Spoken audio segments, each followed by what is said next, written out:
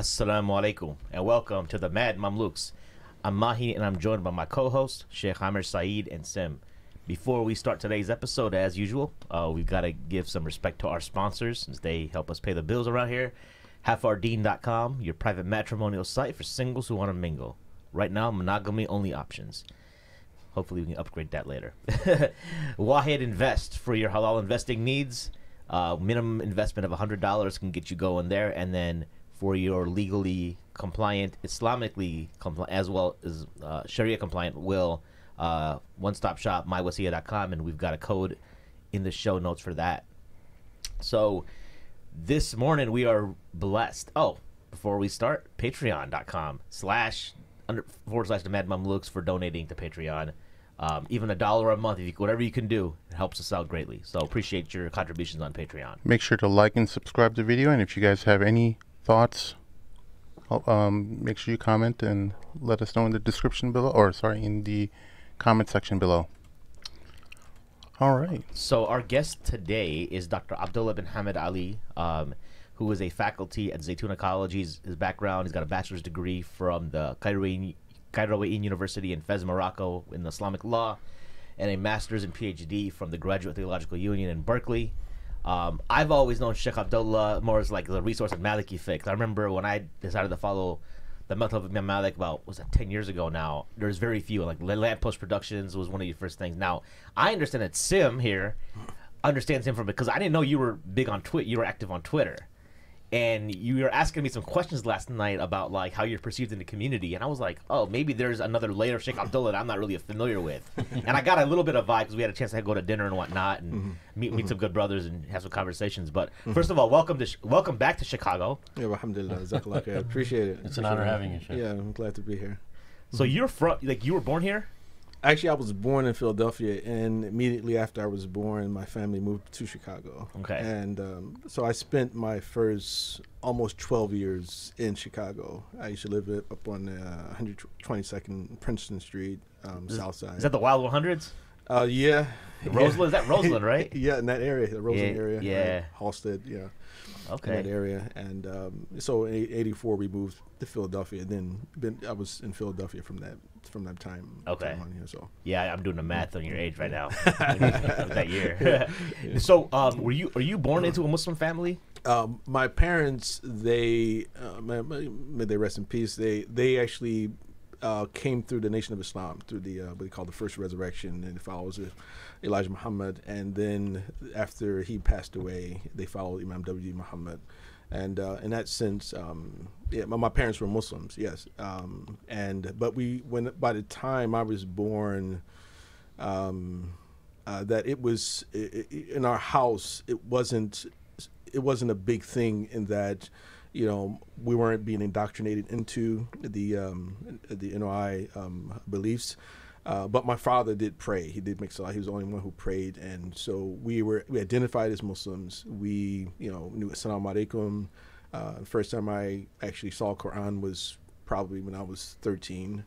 Um, you know, so um, in that sense, um, yes and no. I mean, it was more. I would say we were more raised like cultural Muslims, and um, it was. It wasn't until we moved to Philadelphia that I started. I mean, some of my siblings started to study um, some Islam. We actually found and met a, a Sunni family in the neighborhood um, who actually was a break break dancer. You know, and okay. that sort of led, what led to that. And so, we, you know, they invited me in one day and you know, I was there with my crew and we were battling the Muslims. And so then the mother of the house found out that I was a, uh, I was a Muslim. So she invited me in and then she, I saw them, they were performing Salat. And, you know, but my mother and father had broken up by this time, you know, and I just remember my father used to pray and it really attracted me. So I started to come around and, and it really started from that point. Simply just, just the Salah attracted you to towards Islam more. Yes, yeah, exactly. That's yeah. insane. Yeah. Mm-hmm. I've heard a lot. Of, uh, you know, I think we take it for granted a lot. I, have heard a lot of non-Muslims literally say that when they see us pray for the first time, mm-hmm. they. I remember we had some. I had some, uh,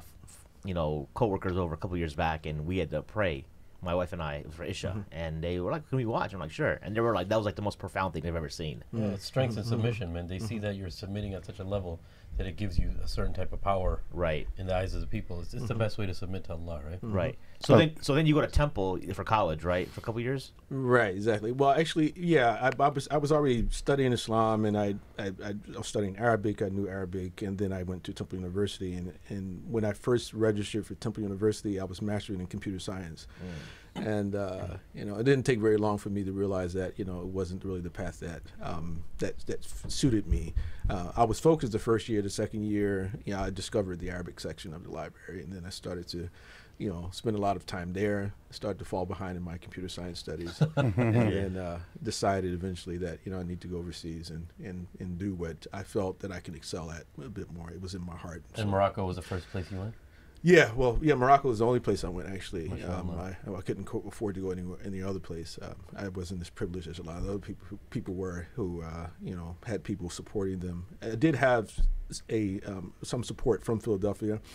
Um, I'd had a regular stipend from a, a local um, um, organization uh, in Philadelphia at the time, you know, but I didn't have enough money coming in that I could get up and move, go and travel Syria, go to Yemen, go to Egypt, like a lot of other people who were coming through Morocco were doing, you know. So and and I don't regret not having the opportunity to go to other places, uh, but I do think that um, it has sort of um, um, led to uh, me not having a certain certain type of camaraderie that a lot of other people, you know, who've had those experiences have had. You know.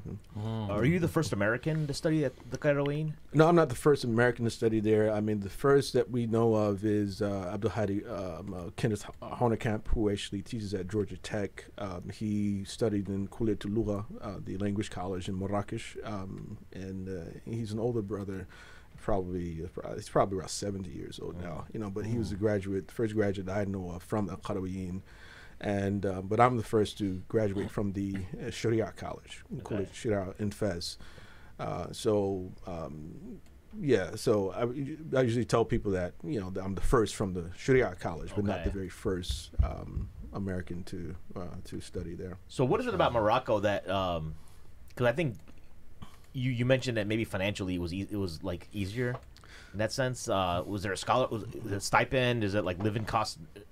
Because like to, for us, a lot of us we're like wow, well, Yemen. We think Yemen is like cheap, right? No, it is compared to Morocco. Morocco is actually expensive compared to compared, compared to Yemen or compared Okay. to Egypt. And uh, in going to Morocco, really, it wasn't it wasn't so much my choice. It, it was I was at Temple. I was studying with Dr. Khalid Blankinship, who was a well-known historian, at least you know among certain American scholars.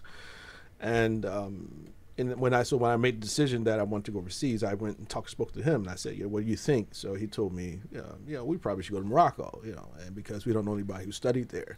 And I just followed his advice, and that's really how it happened. I And, gotcha. Yeah. So prior to that, I had we used to study, read books together in his office. We were studying Maliki fiqh.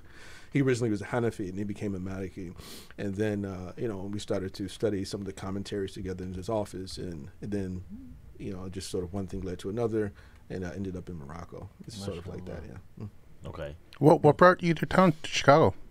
And sorry about the snow. What brought me to Chicago Yeah. this, this weekend? Well, what brought me to Chicago this weekend was uh, Zaytuna in, in your community program, uh, which was uh, in um, conjunction with Darul Qasim. Uh, we had a program related to um, uh, sort of comparisons between uh, um, the um, academy and um, traditional uh, Islamic uh, studies, and um, you know, so yeah, it was, you know, it was. Uh, I felt it was a good, good event. Yeah, Sheikh Amin's doing some great work. Sheikh Yeah, Amin great, is, uh, mashallah. Yeah, mhm, He's mhm, uh he's a gem. He's been on our podcast before, Mhm. but uh, when he talks about education and schooling and academies and, and institutions, mashallah, he has such a beautiful breakdown. The, the school that I teach at, he's our consultant for our Islamic studies Yeah, department. no, he's a beautiful Yeah, man. Beautiful yeah, man. yeah, Yeah, yeah, yeah. yeah. yeah. I met him first in D.C. Um, I think it was early, either earlier this year or late last year. Yeah, we, we were together at a program in, in D.C. Um, at a um, um, conservative th- think tank. Oh uh, yeah, I, I, I, I- think that's the, that's the one. Uh, Royer was involved in that one, right? Mm-hmm. Yeah. Yes. Yeah, yes. All right. Exactly. Yeah, I remember he was he was he was, Mhm. he was telling us about that. Okay, so like the whole academic, um, I, I know one of the questions one of the brothers had afterwards is like there seems to be a different approach to epistemology, like the philosophy of like knowledge. Is that the philosophy of like learning or knowledge? Will you, for, did I, did I define it's, that a properly? it's the study of knowledge. Yeah. Yeah. How we learn. versus yeah. ha- um, in the academic sphere versus the the madrasa system, right? Um, can you comment on like what what the differences are for the layperson if they you know because a lot of times we had a episode um you were we were talking offline about one of the shows that like we got some flack because um we didn't allude to this individual's islamic scholarship but their scholarship was like from a phd from like a, sep- a s- a western institution and sometimes you know we I, I think on our platform when we talk about scholars we think ulama mm-hmm. right? Yes. like so let's say if it's like a non-muslim orientalist scholar who's got a phd in islamic studies we wouldn't call him an ulama. And so mm-hmm. similarly someone who's like maybe of a progressive slant and studying like gender studies in the realm of ibn arabi i'm just making that up ibn arabi at like princeton I don't know that we would call them, and so there's a lot of flack for that. So people, but, but they, but the lay people think it's they're scholars. They're like, well, they got a PhD, they're a scholar, right? Um, can you talk a little bit? Like, I seem there's, there's like a disconnect. You follow what I'm saying? Yes. Right. Right. Uh, and before before you do, I, I would just want to say, it was kind of my decision on why I didn't because I first emailed the the, the guest for their bio. I'm like, hey, can you send your bio? But then I saw that the guest referred to them as themselves as an Islamic scholar, and I'm like, wait, this is problematic. Or we have a lot of younger listeners; they don't mm-hmm. exactly know how to discern Right. between what Islamic scholarship is and mm-hmm. uh, being a scholar of certain studies related to Middle re- Eastern studies. Middle Eastern or mm-hmm. religious Yeah. studies, um, or some aspects of of Islam. Calling them Islamic scholar could equate them to that, and I felt like it would be irresponsible for me to include that, and that's why Right. I, I left it out. But that caused an uproar among their their viewership or their listeners. I think she was upset a little bit about it as well. So, um, what are your thoughts about it? Well, I think the the the issue of epistemology when we that that term itself, and basically we're talking about whether it's the source of people's truth. Uh, what's what's the you know, um, and uh, in in in that sense, there's not much difference between I would say between classical Islamic learning and and you know what we call sort of the Western uh, the West itself when it comes to that you know the source of truth, the objective truth, you know, sort of the the five senses, you know, empirical knowledge, there's reason. Uh, you know, of course, we include revelation as a source of truth. uh, You know, as as Muslims, uh, but of course, the uh, when you're trying to distinguish between a classical scholar and a Western scholar, a person with a PhD who studied Islamic studies, uh, I think that one of the basic uh, um, understandings or the basic um, the norms is that individuals who study exclusively in the West are people who uh, oftentimes are not specialized in any particular discipline, which is considered to be a classical Islamic di- discipline like fiqh or aqidah or usul al-fiqh or hadith, things like that. Uh, um, so unless a person has those uh, that background, then it, it is extremely important for us to highlight that to point this out. Um, generally, studying in Western universities um, um, means that a person um, had studied Islamic history. They studied perhaps Sufism, you know, history of Sufism, um, um, perhaps some aspects of Islamic culture or art, those type of issues like that. Uh, and they are sort of Islamic studies um, topics, but it doesn't necessarily mean that the individual is qualified to give fatwa, Yeah. uh, among other things. That, so I do think that um, that is a, a, a, a, distinction, you know, between the two particular um, uh, types of, of education. Yeah, I think it's very difficult, um, um, especially for non-Muslims or Orientalists, to get the essence of Islam and Iman and Ihsan um, through an academic university study, right? And I'll give you a small example. Um, let's just take, you can take the madrasa system, you could take the mahdara system in Mauritania. You start off with something really, really basic, even as a foreigner when you go there. It doesn't matter who you are, you start off when you're doing nahu. Let's say you already understand Arabic pretty well, you're going to start off with nahu, method of ajrumiyya. It's a very molecular breakdown. And then you're going to start off with al-risala, fiqh al-maliki. And then you're going to move on to another subject like uh, something in hadith, you know? And you're what you're doing is you're building the individual from a very uh, elementary basis, but yet it's it's a very it's very detailed. And then the individual is going to go to Khalil, Mukhtasar Khalil, and and start not even getting in, in depth into tafsir because they want to perfect the the Arabic language and uh, fiqh very very strongly. And then you'll find people going into hadith. So the the the study which I prefer is the the Mauritanian way is and the Moroccan way too is where you study one subject at a time and you perfect that subject. When I was in Mauritania and I told people that I want to study like three or four subjects, they're like, no, no, you're not going to be able to absorb everything. Just do one at a time. They actually kind of looked down. And how often do you would you how long would it take? Like you would start with Arabic, I would assume. You start with Arabic. So, for instance, uh, the method of Ajrumiyya may take you anywhere, depending on how how sharp or whatever you're given, is anywhere from one month to three months, let's say. okay. Okay. Yeah. And after you finish that, the Risala will probably take people anywhere from five months to eight months, sometimes even a year. Okay. They're only focusing on fiqh. Yeah. So imagine somebody's doing that for 10 years, 12 Yeah, years. yeah.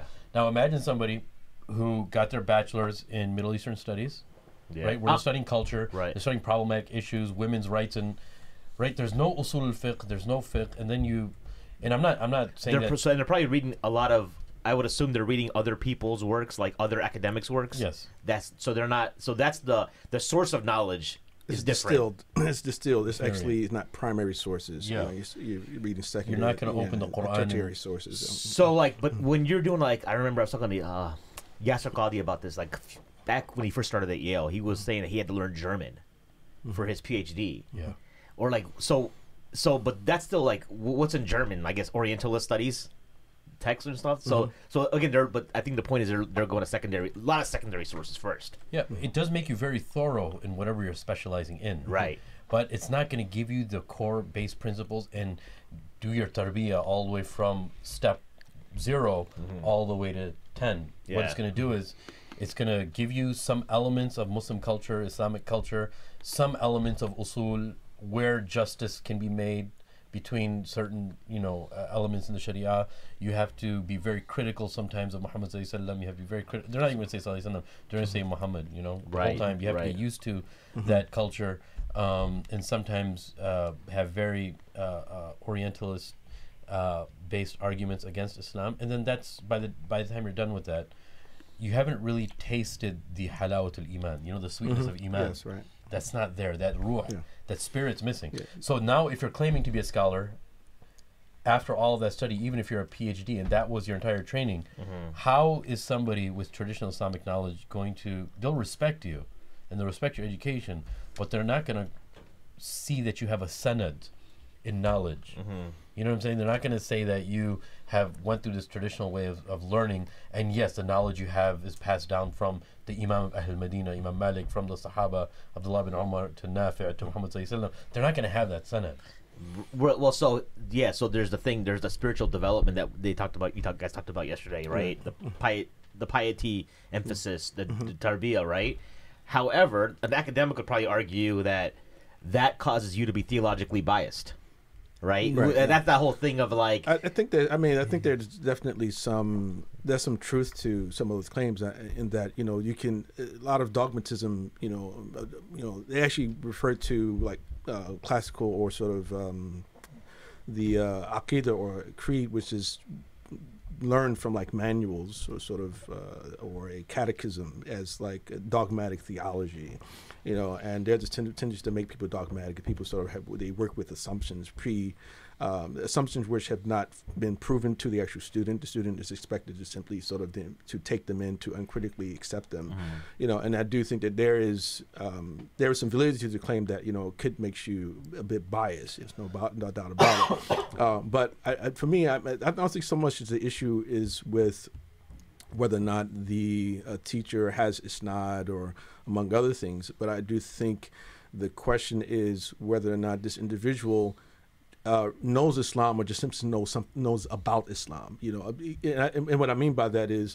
Um, if I'm studying Islamic history, I'm studying Islamic culture, civilization, Islamic art, uh, that I'm studying sort of aspects of the religion, you know, that, you know, um, in a sort of uh, sociological or anthrop- anthropological sort of study of the religion, and, and rather than a normative study of the religion, where actually uh, we don't necessarily have to even embrace it as a believer, but at least if you look at a lot of the um, the early Orientalists, even you know that many of them they mastered classical Arabic they um, you know, like now you university they study modern standard Arabic, for instance. You know they not so a lot of students today are not able to truly access the original sources. Mm. These older Orientalists like Joseph Schacht and you know and Goldziher and these guys these guys really mastered Arabic, eh, and they actually go to the sources and actually study them and actually study fiqh yeah. You know, like, we think of somebody like George Makdisi, who wasn't even a Muslim, you know, who actually, you know, people used to say, when I, I remember, I'm from Philly, he used to teach at University of Pennsylvania, people used to say he's a Hanbali,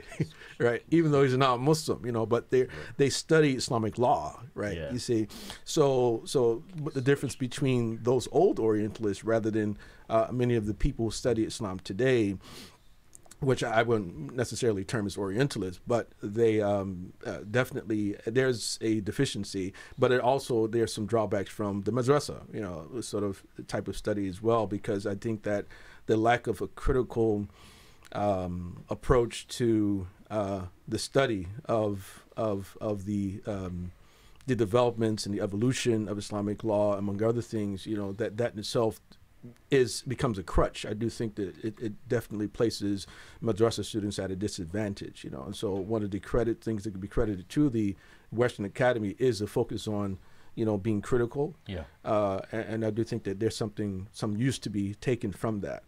Sure. Mm-hmm. So today, if today's folks aren't Orientalists, what's mm. their incentive? Like, it's hard for me to process like well how why a non-Muslim today would do a PhD in Islam. I'm I'm I'm I've heard the job market isn't that great, right?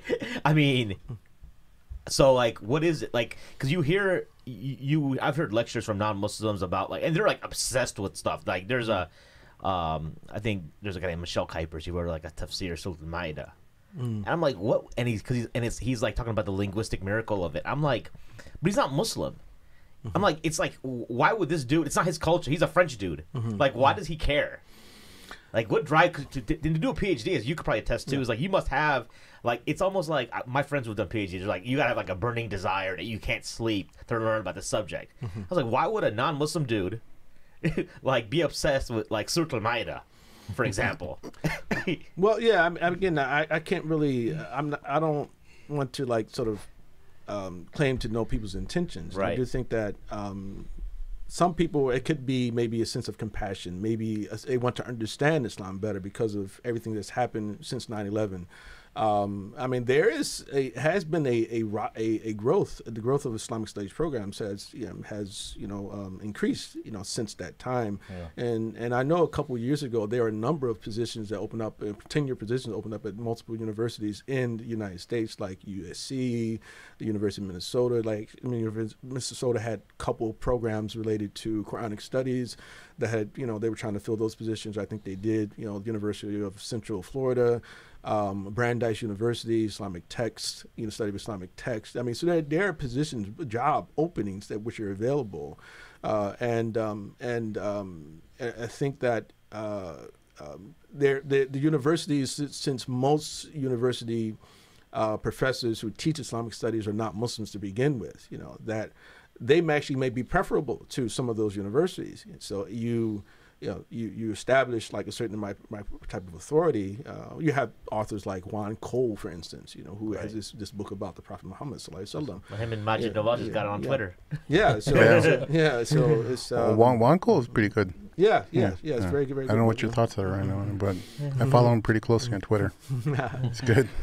Yeah. But well, I think, yeah, no, no, no, no. So there's various reasons. Like I'll give you an example from Hanafi fiqh. Sir Charles Hamilton, like almost 300 years ago, he translated the Hidayah of Imam Abu Hanifa. Okay.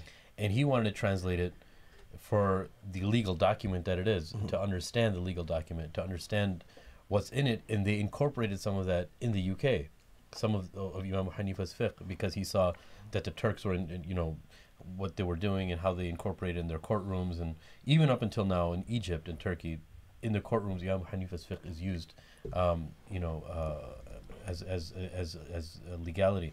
So there, I've met people in Egypt before. You have like there's a there's a huge spectrum. There's some people because of kind of like the exotic other type, and they feel the the the passion of, for instance, in, in Arabic poetry, and they fall in love with it. Right. Right. Um, there's some people who are very sympathetic, like you were saying, towards Muslims, and Mm-hmm. they want to know more about this culture, and they really make themselves marketable by learning it. Right. Mm-hmm. Um, and then there's other people that really, really just want to know as old text what it is. Right. And then there's some people who just want to know it so they can add to their toolkit and help. And you know, for us, it's very difficult to understand sometimes because Islam is very dear to us. It's not a religion, right? Religion is an understatement of what it is, which is why you may have a hard time understanding why somebody would want to. Look what John Esposito has done. Uh, yeah. I mean, like, yeah, I mean, Totally. all the massive work he's Yeah. done on Islam. you Yeah. know. And for us, just think about like somebody who would specialize in uh, Christianity, some elements Mm-hmm. of Christianity if they're Muslim, right? They're like, oh my God, they don't even believe that Jesus. It's actually blasphemous for them that Jesus is God. Why would they want to learn the Bible? But for us, it not only if you have your head on straight, it actually raises your iman. It's actually good for your iman. Um, you know, um, if you're capable of doing so. But someone maybe, you know, do you guys remember when Reza Aslan, you know, I don't like to bring this up, but when he was on Fox, and the ladies went back and forth on her for like five minutes, but you're a Muslim. Why would you want to know about mm-hmm. Jesus and this and that? And he's like, mm-hmm. he specializes in Christianity, mm-hmm. Yeah. right? Right. So it's kind of like, you know, I know it, it, it's sometimes hard to grasp, but sometimes people are just, they just like the knowledge of Yeah, they you have know, that passion. I mean, you had Dr. Ali Ataie here Yeah. on, on your show. I Yeah, mean, oh, yeah. He's had a passion for study of the Bible for, Exactly. for, for a very long time. Yeah. You know, so yeah. Yeah. Since you brought him up, uh, I was gonna like so. Th- th- there's um his show, and I and he, and he know he knows this is that he has we got like. Out of He's going to come the on again too, though. Yeah, Yeah. out of Inshallah. inshallah, like I think in a few months he'll be back in Chicago. But um, out of all the shows we've done on like spiritual abuse and like nasheeds about like wolf sheikhs and Yeah. feminism, his show got us the most pushback. Um, because of some of the thing, and and we, we were talking, we were talking about. It's like, well, it's, he's an academic. He's throwing ideas out there. He's putting out, and sometimes these ideas aren't like there's not his personal beliefs, right? But He's a just throw- researcher, yeah, he's yeah. throwing it out there. But one of the main complaints that I got from a lot of people in the community was that, yeah, okay, we get he's an academic, but like he shouldn't be broadcasting that on a platform like your guys because lay people are going to listen to it. Well, lay, lay, lay people what- don't listen to us. I it's mm-hmm. a fact. M- majority of our, our listeners are people who are intelligent people. Now, uh, intelligent. I use the term intelligent loosely after that. The, the, the, some of the comments I saw because, um, the here, here here's the thing. A lot of these people they don't understand that when you are discussing something from an academic perspective, it, this is not um, you. You have to emotionally detach yourself from some of these ideas, exactly. Mhm. and you have to actually put aside your biases and and actually really look at the matter and, and say like, hey, am I just feeding into something I've been taught? Because there's a lot of ideas that you don't actually look into why you believe in the the, the things you do, and, and you actually discover that. Uh, we were like, for example, we were go- going through some of the, the stories that were regarding Omar radiallahu after a recent episode, and we were we were looking at some of the things about uh, Omar radiallahu conversion story uh, and how weak that, that the narrations are related to that, or that he used to bury his daughters and then found out that that's complete hogwash as well, and, and you find out that there's so much stuff that you're just inheriting from people you trust or things like that, and then you never actually do any research regarding it, and then it, it eventually becomes a part of you to a to an extent where um, if someone pushes back against that idea, your in it's almost as if your existence is being Yes, invalidated. exactly. Mhm. So, talk to us about that. Yeah, well, I mean, think about the Prophet sallallahu alaihi wasallam. He he he his over his main message to the mushrikeen for 23 years was, you know, there's only one God, right? And and it took them that long. I mean, well, what not that long actually, because the first half of Mecca was in was year eight after the Hijrah, you know. So you're talking about 18 years, you know, that for them to finally, and then some some actually just caving in, you know, because of just the acknowledgement that listen, okay, well we, we lost, right? Uh, we have to entertain that possibility that some people still didn't give up their idolatry, you know, but they okay, I accept Islam because you know Muhammad's won, he he's conquered us, uh, but but but the whole point I'm making is that that people the aqidah is the hardest thing to change in people. That once you once they have a belief uh, and it's ingrained in them, especially from a very young age, right? That you can't expect for them to change overnight. That it takes time. You have to be patient with them, you know, and and and and people have to work through their emotions, their anger, uh, their anxieties, uh, and then and then eventually, hopefully, they'll open up, you know, to realize like, you know what, all right, um, that is a valid potentially valid interpretation or possibility, you know, which is there. And so what I've been taught was maybe the mainstream Mm. or the or we become the accepted, if we call the orthodox view on this issue or the majority view on this issue. Now with this other view is while it's not popular, it does have some strength, you see. Uh, and I'm not and I'm just saying in general, I'm not talking about anything in particular that Dr. Ali said. I don't know exactly what, what points you guys are uh, that the people objected to.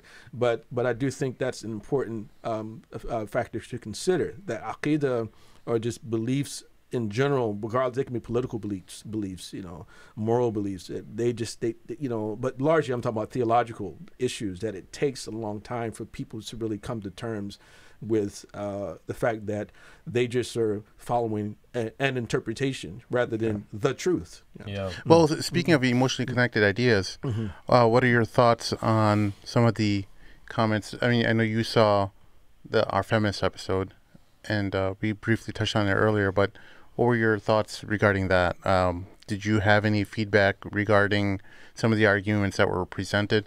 We we, we kind of used some of these episodes as a template. It wasn't so much that you know I wanted to.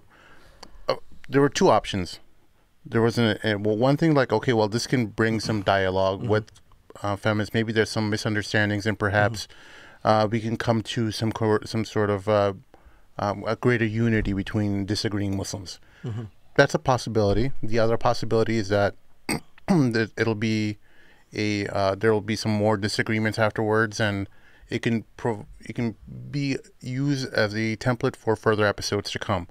So and, and I know you heard the episode and uh, you had some thoughts regarding Right. various points that were presented.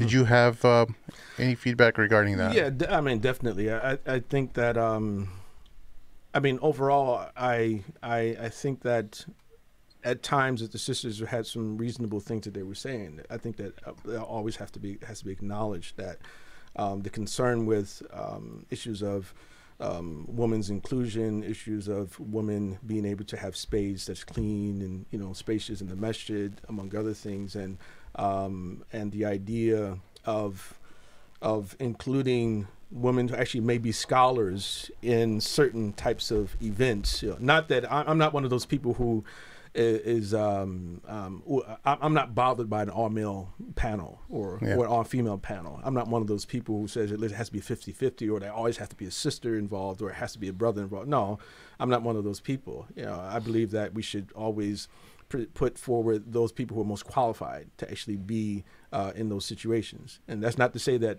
all the brothers in, in a lot of these programs are um, um, the, uh, always qualified, you know, to be on the stage. Yeah. Uh, so I do think that we have to really reconsider that. You know, we invite people who are not perhaps you know, you know really qualified, just they simply have to be men. Um, but at the same time, I don't think that it's a um, a uh, an Islamic sort of policy or Islamic teaching that the people uh, who should that that we should be um, going out of our way to make sure that there's proper gender sort of representation. I don't necessarily see that, you know, in the, in the Sunnah uh, of the Prophet Islam. You know, but I see in the Sunnah of the Prophet that he placing forward those people who are most fit Yeah. to be in those particular positions. All right, so it's a meritocracy rather than you know just based upon just simply gender. Yeah. Uh, you know, so but of course, if you have people who of you know women sisters who are qualified and brothers and qualified you know we should try you know to, to do that. But if it hap- if it doesn't happen if it's difficult to happen then you know we should be you know we should not be uh questioning people's intentions. So that's one issue. The other issue I, I, in terms of critiques i think that um that one thing was brought up about this idea of um, how certain people who are given a platform in the community who like share like Jordan Peterson, like Oh yeah, that was that was you. You, ever play Mario Kart? Uh, It was like a video Yeah, game. You know, son what- plays it, yeah. you know they throw the banana. Yeah, right. And, and and I was like, okay, well, this is something that was sent to me, so I, I end up defending Jordan Peterson, Yeah. and I didn't want to I didn't want to bite because I knew like there's a whole lot of nuance and this uh, with related to what Jordan Peterson says. I only wanted to make sure that she understood we're not the Jordan Peterson fan club. So I later Right, made the a- added the caveat that we were actually the, probably the only Muslim platform that specifically uh, told the problematic nature of uh, anthropomor- anthropomorphology, uh, the attribution of hum- uh, animal characteristics to humans, and we wanted to make sure that m- when while Muslims want to learn from Jordan, that's fine. He's got some great points, but you have to understand you can't take everything uh, with that. So that's how it was mm-hmm. just like a, something that was mm. kind of sent towards my way, and I didn't want to completely bite on that mm-hmm. Mm-hmm. because it could be easily painted as as people uh, as a Jordan Peterson defense, fan club, right. you know. right. promoters, Yeah, yeah. I, I, but there, there, but there are definitely a few issues I think are important to highlight because, like, one, the most important issue for me, me listening to these things, I, I hear people say things like, "Okay, well, Jordan Peterson, you know, you shouldn't share him. He's a he's a known mm-hmm. white supremacist," you know, and saying things like that. That was like, completely false. That's That's like, not- that's not- I mean, you know, and, and, it, and it tells me I, I, I smirk when I when I hear Muslims especially say these type of things, and the reason I smirk is because I know they're not they're just simply parroting what their friends on the left tell them to say, right? You know, I I I, think is I find it extremely irresponsible uh, and and and lacking in in depth when I find people critique others without actually studying them, right? You know, and so to hear that, it's like, well, he's a white supremacist. I say, well, based upon what? I mean, show us, show, give us a quote from him. You know, give us something that he did that proves he was a white supremacist. You know, and, and I'm quite sure that that sister or anybody else who actually says that couldn't give it to you. You see, so um, and, and there's again- that there's it- that one picture that's floating around social media where he's holding he's he apparently put his arm around some fan who's wearing a I'm a proud Islamophobe Islamophobe, right. t-shirt. And what a lot of people don't understand is that these pictures are taken after um, a performance or a speech. He's not even looking at Looking at people people's shirts, right? Mm-hmm. people's shirts and I guarantee you, m- um, he even once uh, he got in trouble for some guy uh, wearing one of those Pepe the Frog Yes, shirts. yes, right. And he wa- he he I don't think he even knew that what the reference was to that frog. Apparently, it's like a white nationalist symbol, and a lot of people try to you know completely discredit the work. Mm-hmm. You read the book mm-hmm. 12, Ru- 12 mm-hmm. Rules of Life. You don't see anything related to white nationalism. There may have been some fans of his that are. Um, white nationalists but people nowadays it seems like everyone's kind of merging into everyone's uh, spaces and, and i don't see how you could completely discredit someone's work based right, on right. that I mean, I, I, I have things I disagree with uh, Dr. Peterson on. I mean, I mean, I have critiques for him of, Yeah. of him, you know, and I have, and, and I don't agree 100 percent with everybody that I know, right? You know, I have disagreements with Sheikh Hamza, with Imam Zayd, with Dr. Hatch. I mean, we, we you know, and, uh, 100%. Dr. Jackson. I mean, we, you know, and but just because you share somebody's videos that actually you find to be useful, right? One doesn't necessarily mean that you agree with everything that they believe and then two it doesn't mean that you even agree with 100% of what you was actually in the video mm. right? Yeah. But it's that it's just the whole idea is that listen here's a particular perspective that may be of use to our to our community. And and and it, and, and furthermore when you if you listen to it you absorb it at least if you disagree you can disagree based upon an informed you Yeah. know it's an informed disagreement it's like I actually listened and heard and now i have this critique Yeah. and then we can talk about your critique is your critique a valid critique or not you know but you're gonna you just say okay because the person was in the picture or, or said something critical of muslims or islam or perhaps even the prophet sallallahu alaihi wasallam, right Yeah. you know then it's like okay that in itself is reason enough to say you know what everything he says it, i can't listen to anything what the person has to say about this about this thing, you know. But uh, it's it's it's really a problem I see that the Muslims have really placed themselves, allowed themselves to be placed on the leash, right, Yeah. of the left. The left is really, really. Uh, um, um, goading us uh, forward and, and, and dictating to us how to react to people on the right uh, and and in, in, and into our own Muslim community, members of our own community as well. Hmm. Yeah. Well, you, you saw that Dr. Yasir Qadhi, and I don't mean to hmm. pick on him at all, but hmm. he actually went out of his way and he put the picture of that that uh, student who was wearing that I'm a proud Islamophobe and mm-hmm. Jordan Peterson putting his arm around him. Mm-hmm. He went after him.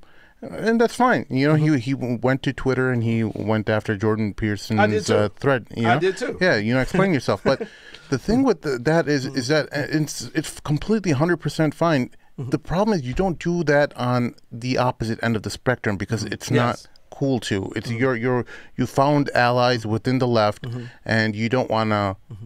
Um, hurt anyone's feelings because Mm-hmm. now you're you're not you're no longer interested in you, you're you've add addendums to Amr bil Ma'ruf, Mm-hmm.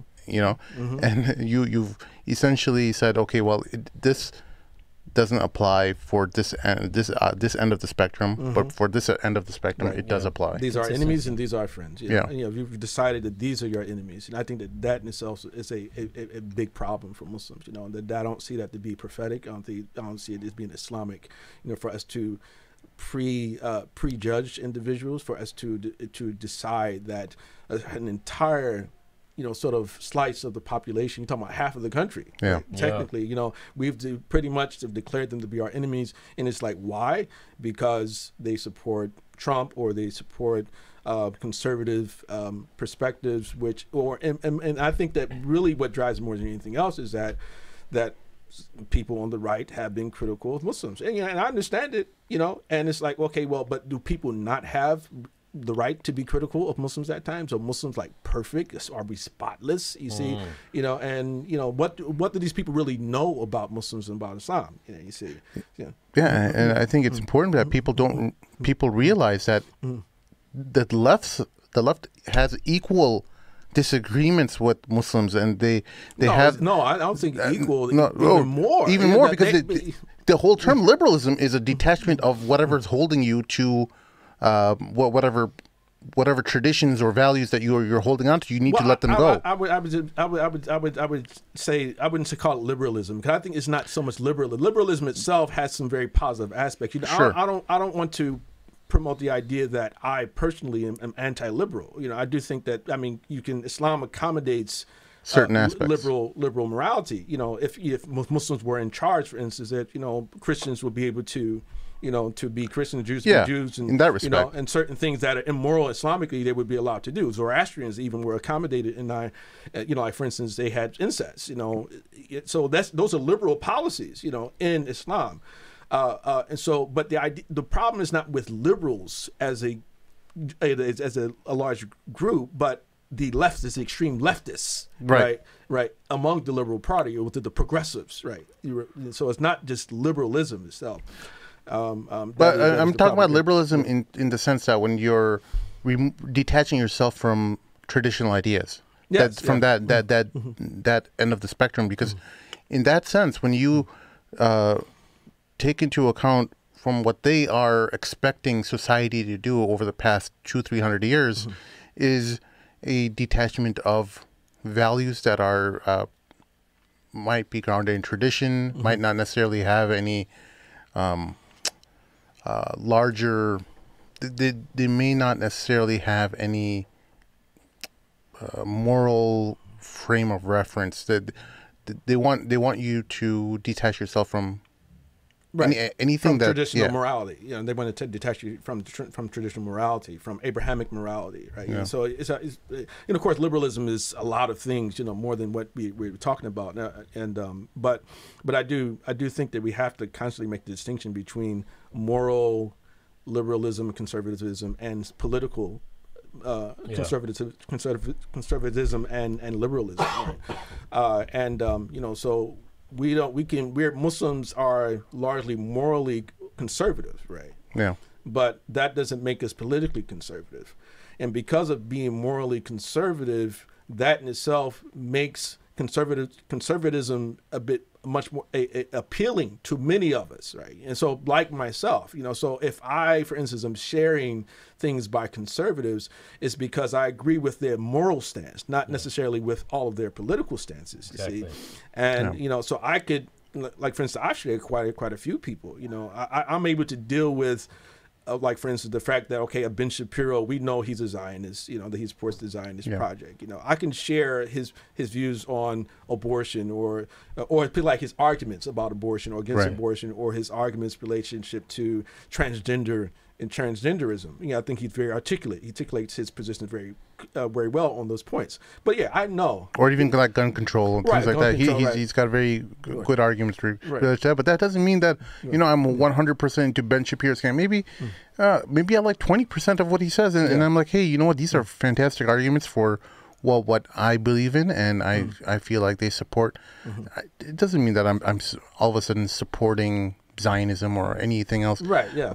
I Yeah. always encourage our listeners to try to get the best from everyone. Mm-hmm.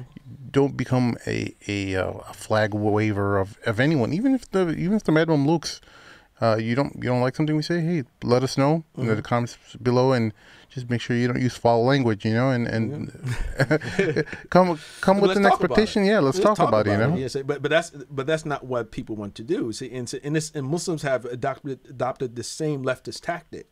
Is that listen? We don't like what that imam or that scholar says. Oh, we got to shut him down. Yeah. We have to put him on a blacklist. We can't invite him, disinvite Yeah. him. You know, from this Have him event, or lose that his event. job, Right. yeah. But, yeah. Try to make. I, actually, I've had somebody try to do that to me as well as a tuner. You know, I posted something a couple from years, few years ago, and then somebody sent an email to Imam Zaid and some other people, and they didn't. You know, it's like you know, trying to get me my get me lose my job. Alhamdulillah, but you know, we have support from my from our from our scholars and those who who, who, who lead us, and um, yeah, I've been people attempted to get me disinvited from certain events, um, um, like recent a recent event early this year down in L.A. Um, both sisters um, were told from the Women's Mosque and the Fitna group, Fitna group. right? They don't know anything about me, right? Realistically, they don't know me at all, and they sent contacted the group. The um, as a matter of fact, uh, Dr. Jackson's wife, who has her Muslim psychology project, and uh, and they asked that both myself and Imam, and Imam be disinvited. You know, Oh, wow. to, to the event, right? You know, so it's like, well, okay, what's that all Imam about? Zayd is on the blacklist now. yeah, Imam Zayd. He, is he on got on the blacklist after uh, His khutbah. Yeah, khutbah Yeah, right. feminism, yeah. Right, right. I remember like a couple months ago. So, so no, no, no one's safe anymore. These- Yeah. It's like Yeah. it Well, doesn't matter. You get 30 years for the community. You give one clip that they don't like, it's over. they already have their sheikha. That's why. So that, Shake up. the, the, their, their sheikha is apparently the, the new leader. That that that's what they were really upset about. That oh, you didn't. You were saying this whole time uh, during that episode with the, with Fitna. They were saying that you know you didn't say. You, you were keep on mentioning the fact that there is no scholar on on the, the Fitna's creators, or they didn't have a, a board uh, where where they incorporated some kind of scholarship, and there was a scholar sitting right there with you, and you didn't refer to her as a scholar. And I'm like, I wasn't talking about that kind of scholar, but but I didn't want to I didn't want to engage more. But see, is that's the dilemma, man. If you don't have, um, if if you don't have a uh, criterion of truth that you always use um, uh, to for your moral compass, you're subject to change all the time. You're going to be changing every five years, and Well, I think they do. I think and they do have one. They have a criterion. They have moral uh, foundation. I mean, they have uh, their epistemology. Would say again, the source of their truth and their in, in their morality. But it just happens not to be Islam. Yeah. It's not Quranic. It's not prophetic. You, you understand? They would. Yeah. They, they think that they're that they're do, they're doing it based upon a prophetic way of, of looking at things but the very fact that they are antagonistic towards Yeah. Classical scholars. They're antagonistic towards the, tr- the tradition you know. I Yeah. mean they actually are you know even if they may claim otherwise you know. And so what they do eh, they, they're left to embrace what? Feminism. They rate eh, you know and even if you don't call yourself a feminist you know it's Yeah. like that's fundamentally what you're doing. You're you're embracing feminist ideology or marxist ideology and that's that becomes a source of your morality. Your, their ideas about justice their ideas about equality you know their ideas about utopia that that is fundamentally what you're what you're what you buy, bought into and we're just saying listen you know that we want to address these issues with you. I mean, if there are actual legitimate issues in the Muslim community, let's address those issues. But let us utilize Islam's morality, Yeah. Islam's you know sort of um, way of, of of of viewing these issues. You see, make Allah the judge, make you know the Quran the judge in these issues first and foremost. You know, but when you again you come out and you promote non-Islamic morality, yeah. right? You know, and you based upon this idea of equality, right? And, and it's not an Islamic, you know, Yeah. idea of equality. Totally, It's a leftist. Right, it's this le- le- leftist idea of Mm-hmm. trying to achieve this e- egalitarian society where Um, e- e- there's no more power structures. We're Mm-hmm. we're going to have um, universal income, and Mm-hmm. and some of these ideas might even be connected to Islam. I know uh, Yes. during some of the Khulafa, um, I think we the Islamic world had reached such a, a a strong position that there were there was um, income that was distributed back to the poor, Mm-hmm. to the extent that there were very few people even to be found that were Yes. considered poor. Zakat Yeah, eligible, yeah. right. During, right. During Yeah. the reign of Umar ibn Abdul Aziz and Umar ibn Khattab had initiated some some some some programs as well. you So know. the, these ideas aren't inherently liberal ideas. They're, they're definitely um, ideas that were were uh, at least tried and tested out in, in the past and were achieved to a certain extent.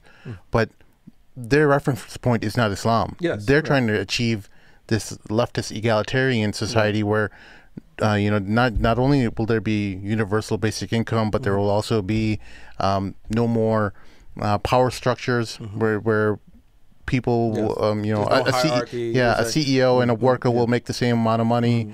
Um, it, and it'll all, these are all like Yeah. actually grounded in Marxism. Right. You know, if you think about it. Right, and people will get things for free. You know, the people work hard and became rich, and anything that you just simply take your rich people's money and give it to the people who actually are not willing to work. Right. You know, so there's a lot of those problem those, those problems there. You know, now now I mean definitely I think we we have to be very careful too not to deal with this issue in the same binary terms that the uh, the non-Muslims in the political realm deal with them. So, for instance, and if you look at Republicans, Democrats, that it's uh, either capitalism or socialism, right? Right, right. You know, but for us as Muslims, it's like no, it's not either or, because when we look at, like for instance, someone like AOC, who people they made fun of her because she said that people are too obsessed with being factually correct than being, than being morally wrong, uh, morally than being morally correct, right? And you know because they were checking her on some some issues, and um, and people laughed, you know, and I understand why they laughed, but also I understand what she what she was implying as well, right? Now I'm not again one of her fans, but I understand what she's trying to get at. And funda- and one of the fundamental uh, issues is that if we are opposed to welfare, right, for the poor or for Main Street, then we should also be opposed to welfare for for for, for Wall Street, mm. right? And our society is one where Wall Street has is, is, has on welfare. You know, they, they take taxpayers' dollars. You know, the the the 2008 collapse, you know, the money was taken from taxpayers' dollars and given to the rich, given to the banks.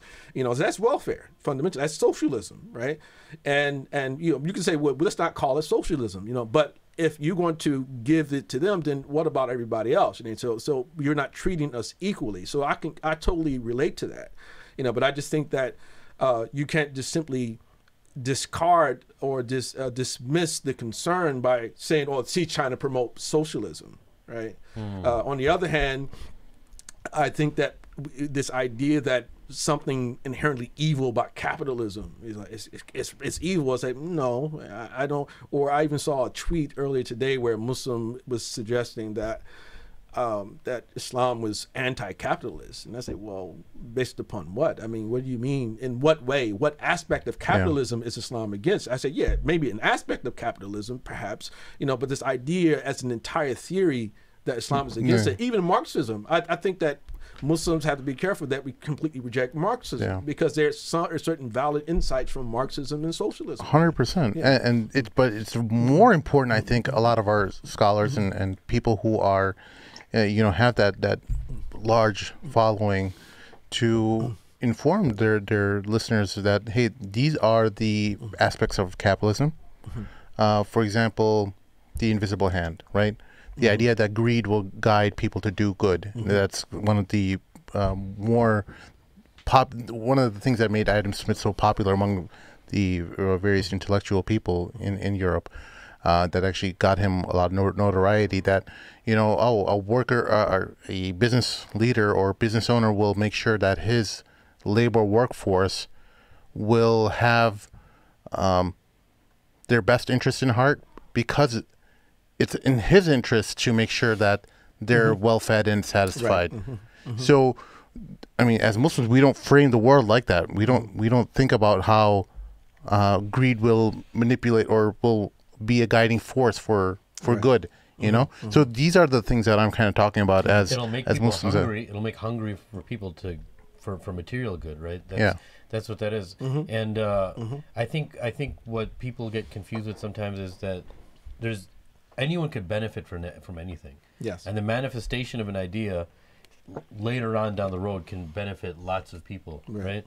Um, but Al-hikmatu dalatul mu'min. Yes, jazakallah khairan. You know, and uh, but you know when we talk about Islamic uh, uh, economics or Islamic economy, what I think the confusion occurs is Muslims we see some of us may not know what you know Islamic economics is or the Islamic way of dealing with money, whether it's liquid assets or, but Islam is based on distribution. The economic uh, understanding and philosophy of Islam is based on distribution, and uh, that Allah Subhanahu wa Taala owns your wealth, and um, even a portion of that wealth which is zakat eligible, you know, is not even your wealth. That two point five percent. You know, Yeah, but but I, I wouldn't I would challenge that and that that that perspective. I mean, um, you know, I, I think that both is- there's Islamic's um, view, Islam's view of economics is is also rooted in production. It's not only in distribution. You know, because you have to have production in order to, for you to have distribution. What, course. what are you going to dis- distribute? You know, so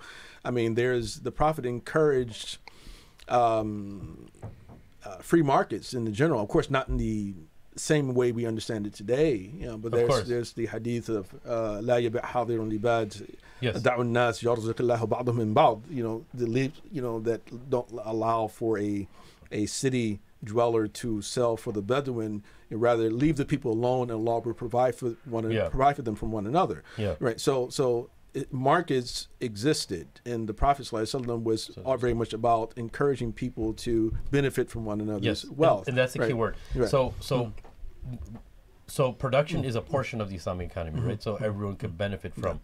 But what I'm saying is that Mm-hmm. the the sole purpose of having wealth, number one, is and I know this may sound very elementary, is but Allah subhanahu wa ta'ala puts certain natural resources in the world and in the ground for us for the sake of distributing that wealth according to where the places where it's supposed to go and utilizing again that's where production comes in mm-hmm. right? Mm-hmm. But when we talk about let's say zakat specifically let's be more mm-hmm. specific right?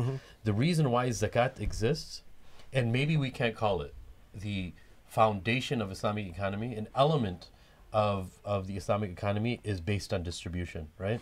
But the I think the the thing that many people have with capitalism uh, is that the philosophy itself is based on scarcity, right? That all the elements that we have, no matter what happens, we have to make sure that we possess it, even if it's not scarce. We have to treat it like it's scarce, and we are going to do anything we can to attain those elements or those th- th- those resources.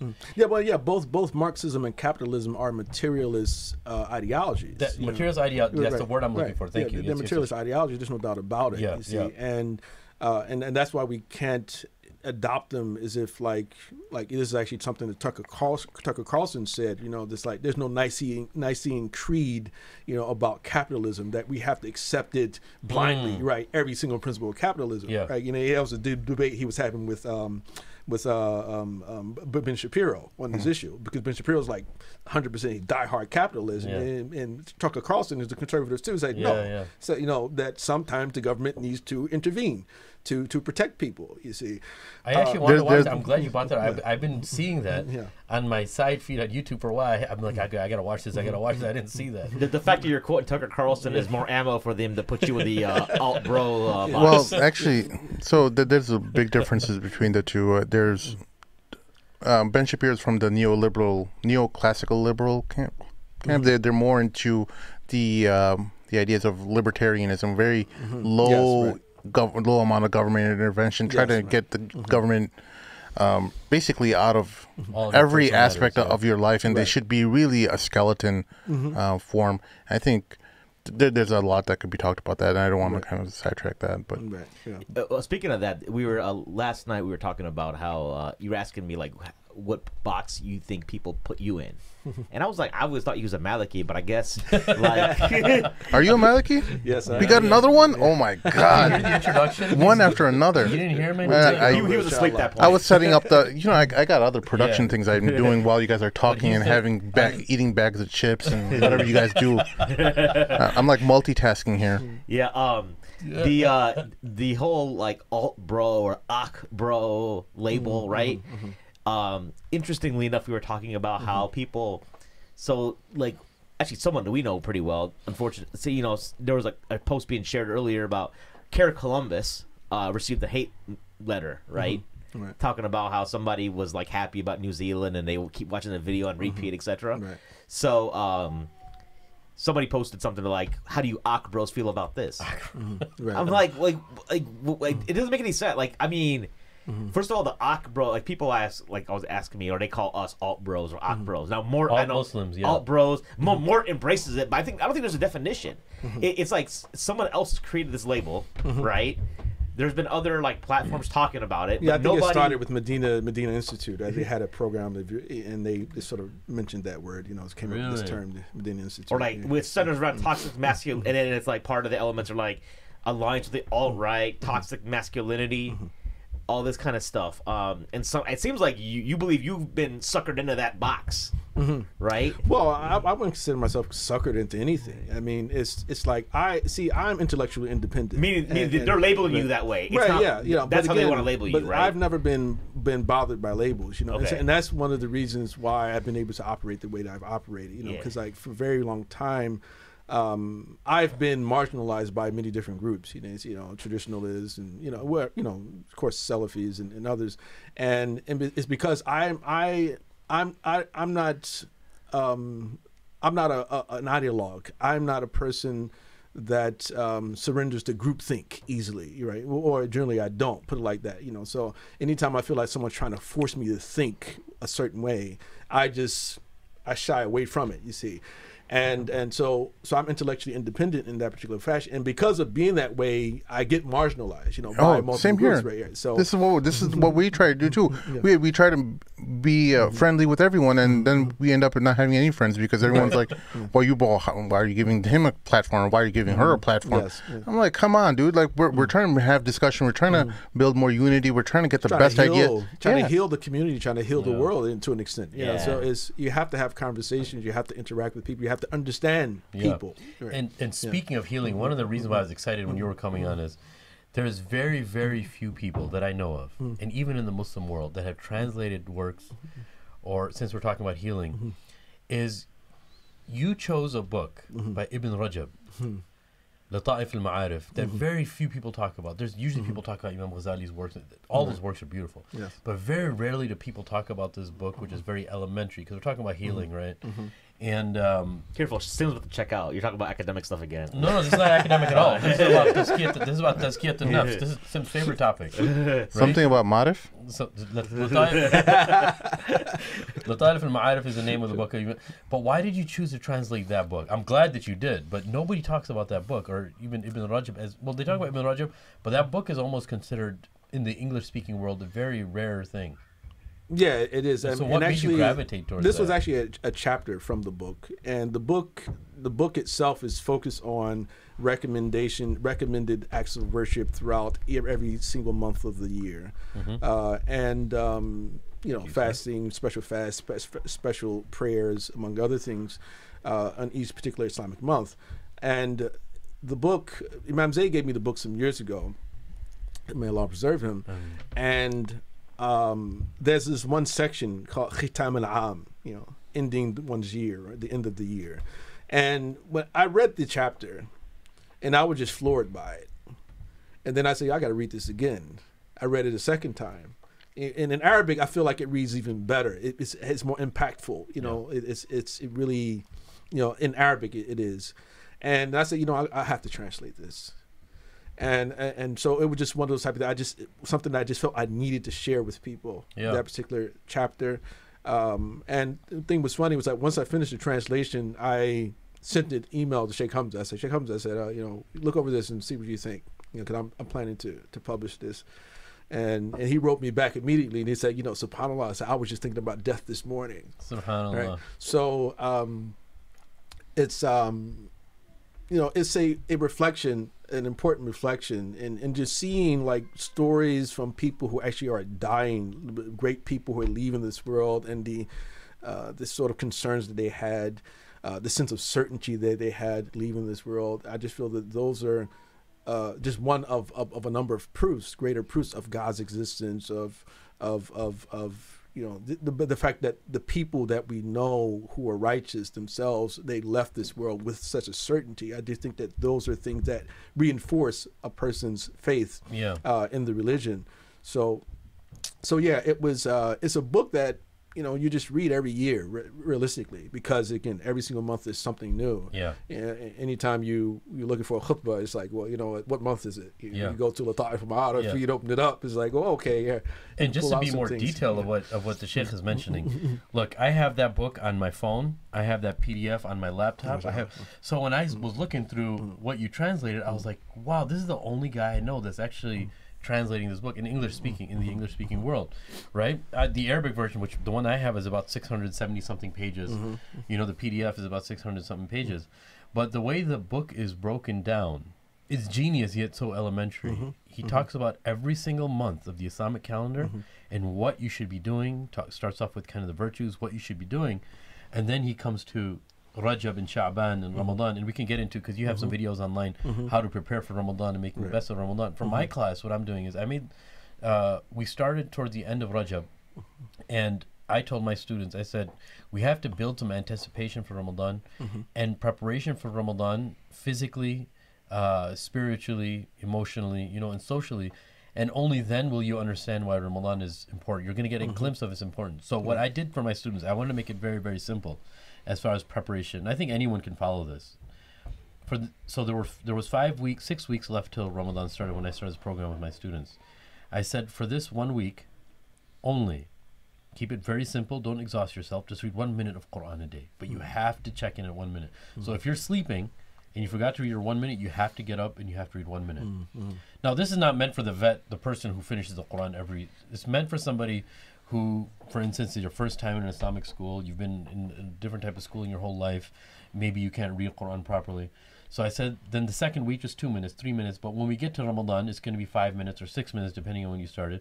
Throughout all of Ramadan, the only extra thing you're going to do is read six minutes all the way throughout, or 5 minutes all the way, but it has to be every day and consistent, Yes. Mhm. right? And what I had them do is, and please don't take what I'm saying out of context to the listeners, but what I had them write in bold, I said, I don't have to finish the Quran in Ramadan. I had them mm-hmm. write it all in bold in capital letters, mm-hmm. meaning mm-hmm. that I talked to them in retrospect. I said that if you start off Ramadan with one juz and you haven't read an entire juz the entire year, and you're going to start, the last thing you want on the third or fourth day is have animosity towards that ibadah, the act of mm-hmm. ibadah. That's mm-hmm. much more catastrophic right. than you just reading one minute. You're like, dude, that was it. I'm done. That mm-hmm. was beautiful. Imagine how much khushu' that person is going to have in two, two, two minutes. Mm-hmm. Exactly. So that so that was my principle behind it. Yes. So please don't say that I'm not No, telling it's, people to it sounds like it sounds similar, to the man who came to the Prophet Islam. what I'm Said, saying, "Ara'ayta law salaytu maktubat?" You know, what if I pray only the five prayers Yes. and the fast Ramadan? You know, Yep. and the Prophet, well, I get to Jannah. Said, "Yeah, you will." You'll you know, definitely go to you know, Jannah if you do understanding, but if that man, and we know if that man did that, that it's likely that once he developed that norm, that he added something Yes. something to that. No, he's going to be climbing in his yeah, ranks too. yeah, mhm. But it's about starting off very small. Exactly. Right? And I said, you know, just try to fast Monday or Thursday or even the three days of the Islamic calendar, 13th, 14th, and 15th, um, to get ready for Ramadan. If you've been fasted all year, make up your fasts. Some people are like, after. I said, just make those fasts up in preparation for your Ramadan. But don't burn yourself out because Ramadan, um, because we want to stay consistent with that five minutes throughout, right? So the first the, the the the way Allah subhanahu wa ta'ala works, subhanallah. I started looking into Ibn Rajab's book for, you know, Rajab and Sha'ban. And then we were having you on as a guest. So I was looking you up and I was like, oh my God, he's translated a portion of his book. right? Allah subhanahu wa ta'ala works in amazing ways. So that book is very dear to me and mm-hmm. because it's so simple. He mm-hmm. breaks it down. Like no one ever thought about having these chapters and break it down by the month mm-hmm. of the Islamic calendar. Right? So chapter is gonna be Rajab, chapter is gonna be Sha'ban, Ramadan, Shawwal, Dhul Qa'dah, Dhul Hijjah. And uh This um, is Ibn Ibn Rajab. Ibn, Ibn, Ibn Rajab al-Hanbali, yeah, yeah. Um, and do you know if you're going to be doing any other translations of that book soon? Uh, not in time soon. Actually, uh, I have this year. I have three books. Well, actually, I have a reprint of the Ibn Rajab book. You know, Okay. I, I, I entitled I titled that section uh, "Tears of the Yearners" for the meet, Yes. for the meeting with God. Uh, but there's a UK publisher, Claritas, which actually really just awakening revamped. You know, I don't know if you awakening Oh, yes, yes, media. yes. I right? used so, to go to- Sami Yusuf yeah. and Yusuf Islam. I mean, um, Sami Yusuf and uh, Maher Zain? Um, Hass- Zain, Hass- right? yeah. the Hassan was Yeah, the right. founder. Yeah, I think so. Right. Right. So um, uh, I'm Sharif Ban uh, Banna, and um, so so they they're back into publishing now. So they uh, so this is one book that they're re- reprinting. It's actually already been reprinted. Uh, I have a, I did, I did a translation of Ibn Taymiyyah's Raf al-Malam Ad al-Alam, the uh, Subhanallah. you know which is entitled the uh, the def- in defense of the four Imams by Ibn Taymiyyah, uh, which actually also came out this year, and then a another work which should be out next week uh, entitled uh, "The Negro in Arab Muslim Consciousness." You know, which and is- all these which- are available. Where are these books? with Claritas, yeah, with Okay. the UK publisher, you know. So um, they, uh, so so so th- this last work is an original work of mine. You know, the others are translations. Uh, so um, so I, I write quite a bit. I've written quite That's a bit over the years as well. You know, so.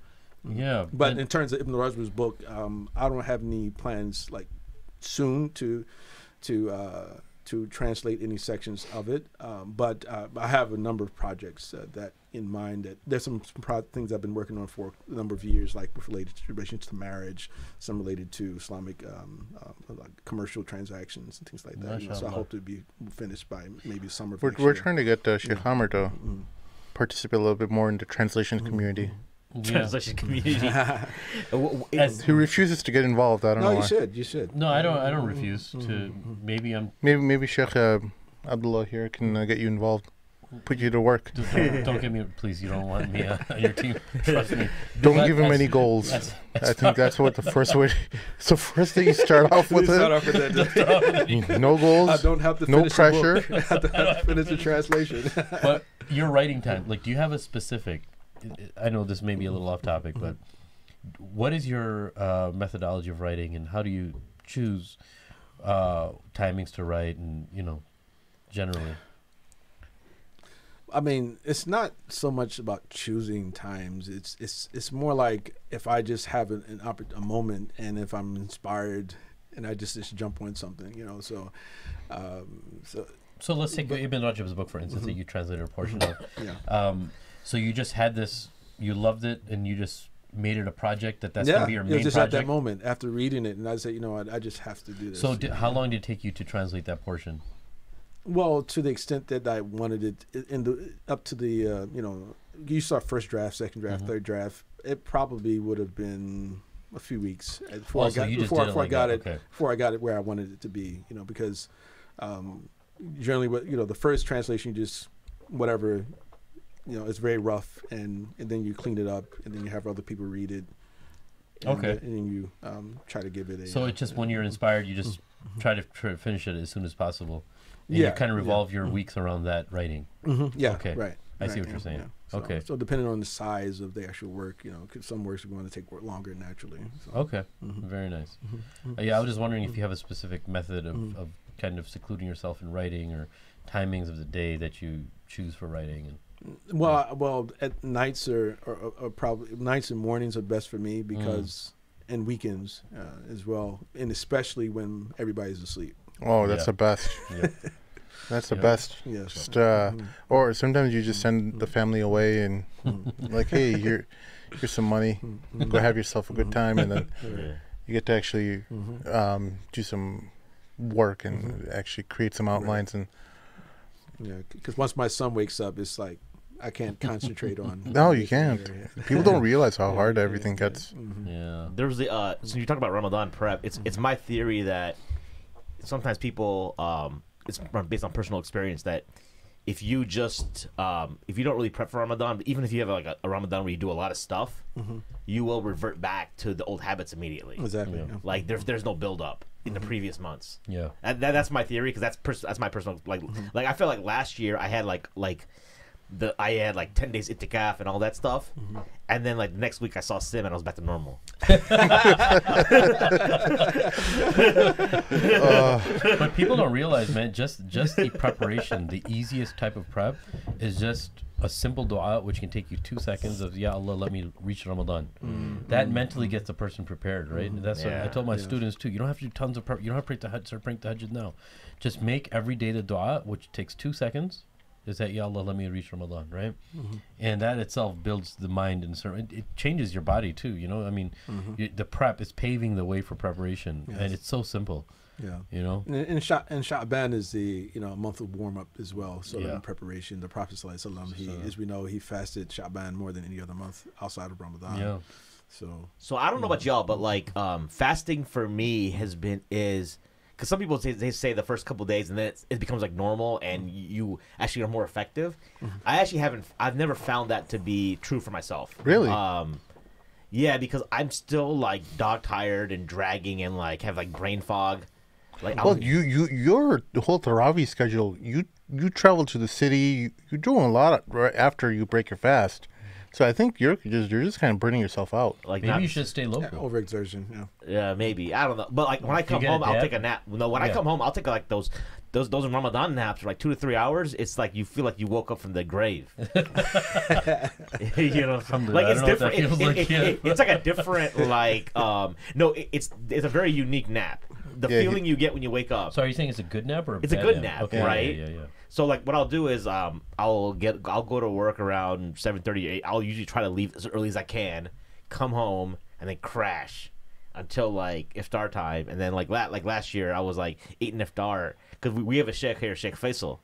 He's uh from uh not, not, not the Jamaican cat from the UK, but like not that one from Somalia, yeah. for some this guy in my it- for me personally he's like got the most he's a he's got the nicest qiraat out of anybody in the, I'd rather listen to him than anybody else in the world He's got a very sweet voice, man. right Yeah. so he's local he's like 40 in a, but it's like a 40 minute drive so I would drive up there even on weeknights and I get home at like midnight 12:30 1 a.m then wake up in like three hours to like for sahur or whatever and then go back to sleep so maybe maybe Sim's got a point but I also feel like during the day the fast is like like yeah I guess sometimes you get the second wind but Wait, aren't you Maliki and you're considered a traveler? You don't even have to fast.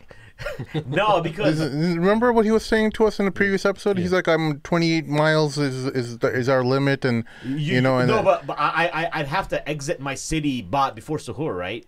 no, yeah. Uh, no, you're you're traveling. You're I mean, for traveling. the- You talking about for, for yeah Yeah, exactly. yeah you, that's correct, yeah. you actually have to exit. Yeah. My, I, I, Oh. I'd have to leave. I, I couldn't just keep, you know, because well, well, no, because in in in the Malik, if I understand correctly, Mm-hmm.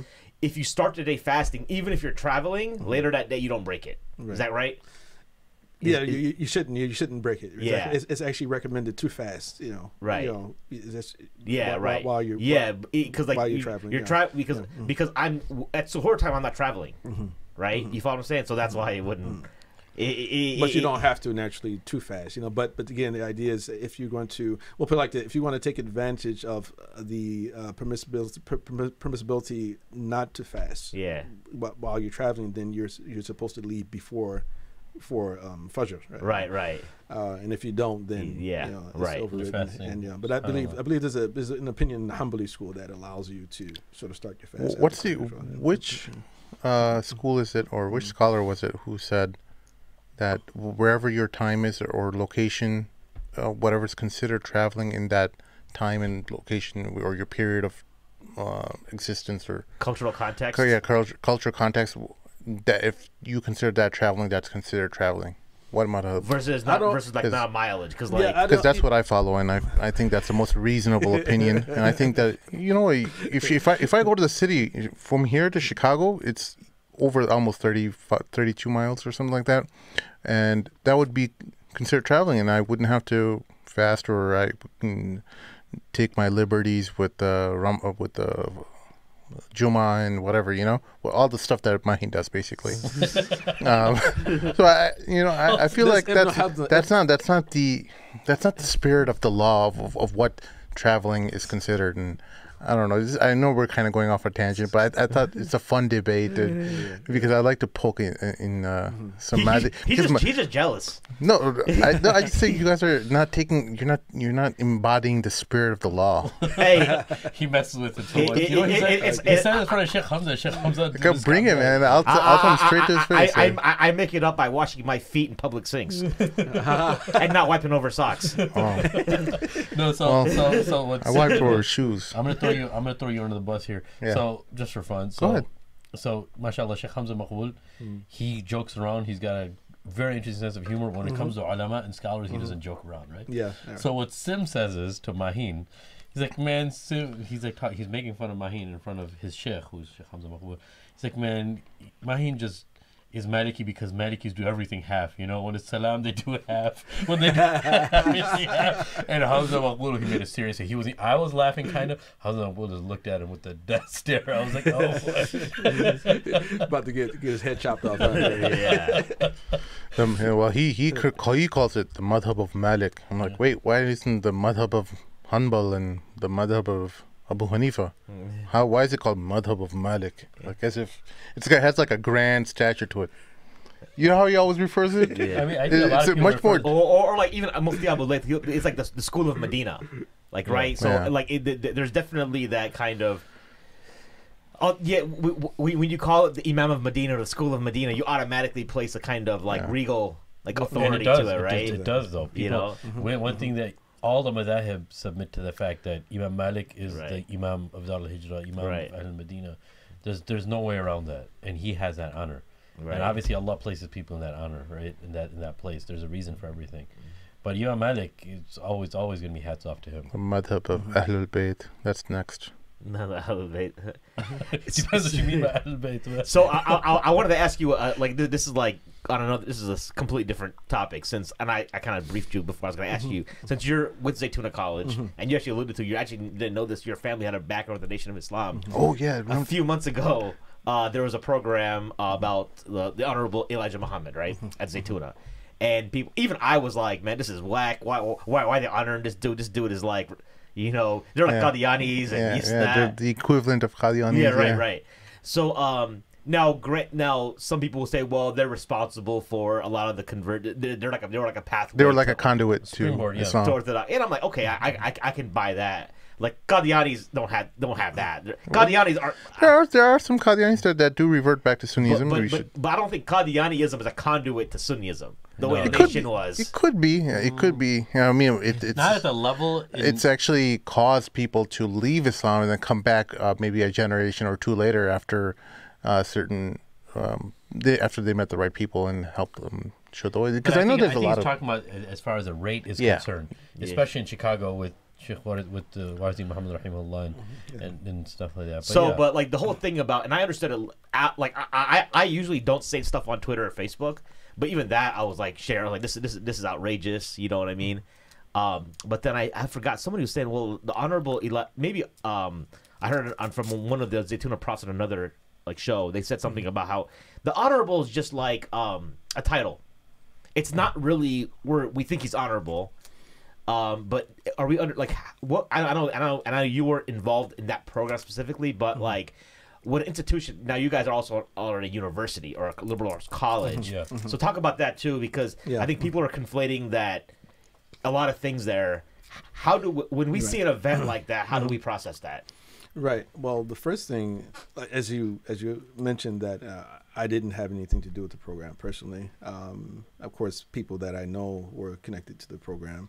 Uh, second of all, the, my understanding about that program was that it was not a Zaytuna program; that it was a program being held at Zaytuna uh, by some individuals that were were friends to of Imam Zayd and friends of of Zaytuna and um, largely African American um, members of the, well, former members of the Nation of Islam, YHD followers of Imam W.D. Muhammad, and and um, that didn't mean that I didn't get any any you know um, messages messages from people you know asking me like why why is this is this happening and and but there are people who contacted me in private. And I obliged there, obliged the, uh, I responded to the uh, the um, the request for ex- explanation, and I offered that f- to begin with. And second of all, what I had offered them was that uh, that mainly, like you said, this one way to to look at it is as a title. You know, it's like when people when they talk about like Noble Drew Ali or this Noble is a title or Honorable Elijah Muhammad, or they say, you know, when people go to court, they address the the judge as Your Honor. Um, um, and they speak of Congress people, this your, you know, the honorable this and honorable that. And now, of course, I don't generally utilize the title. So when I, I when I speak about Elijah Muhammad, I just say Elijah Muhammad. Um, but at, at the same time, I think that um, you, we should also keep in mind that um, the history of African Americans in that you know, after slavery, there were two paradigms that developed in the African American community. One paradigm is what some have called is a separatist national, nationalist paradigm, and the other is what a integrationist paradigm. So the integrationist paradigm led by people like Frederick Douglass, you know, who basically saying that listen, you know, that this is America is our home. We're not going anywhere. We're not going back to Africa. This is where we stand, and we're going to make it work. Mm-hmm. Uh, the other paradigm actually was uh, probably started with his friend um, um, Richard Delany, who was actually a friend of Frederick Douglass, who actually had the different the other paradigm, which is that listen, we separate, go back to Africa. You know, they don't want us here. You know, they, they, don't, they don't want us to be equal to them. Um, and and so so throughout African American uh, history post slavery, um, the integrationists really were failing largely in their attempts to uh, get um, to attain equality. The, the, nat- the, nationalist separatist perspective was um, uh, was one where they basically said that listen, you know, we're not trying to live together with you. Um, we actually just want to separate. We want to be able to thrive. So, so not everybody was saying go back to Africa. They're saying you will stay here, but listen, we're not trying to integrate with white people, right? You know, mm. and, and, the fundamental uh, difference is that they they would they would say to they would actually say to white people said listen you know we don't want to integrate with you and we just want to live a dignified existence and you know we want you to support our decision so someone like um, Booker T Washington um, who was probably one of the most he was the most popular African American uh, in, the U.S. at the time um, in the early 20 early 20th century, who actually brought this message to white America, and actually white Americans they were accept, accepting of that particular message. Uh, and so he actually got a lot of financial support from white Americans, people from the South, people from the North, you know, to start his school. Like he has a school called the Tuskegee Institute, which is now Tuskegee University. It still exists uh, down in the South. And his idea was that, listen, the problem in America with blacks is that white people don't see us as equal. And one of the reasons they don't see us equal is because of what they did, what happened in slavery, and led to us being seen as um, uh, unclean, as being uh, um, um, you know undisciplined and savage, things like that. You know, so he said, listen, what we're going to do, we're going to clean ourselves up. We're going to, you know, um, be be per- we're going to be good at what we do. We're going to make ourselves indispensable.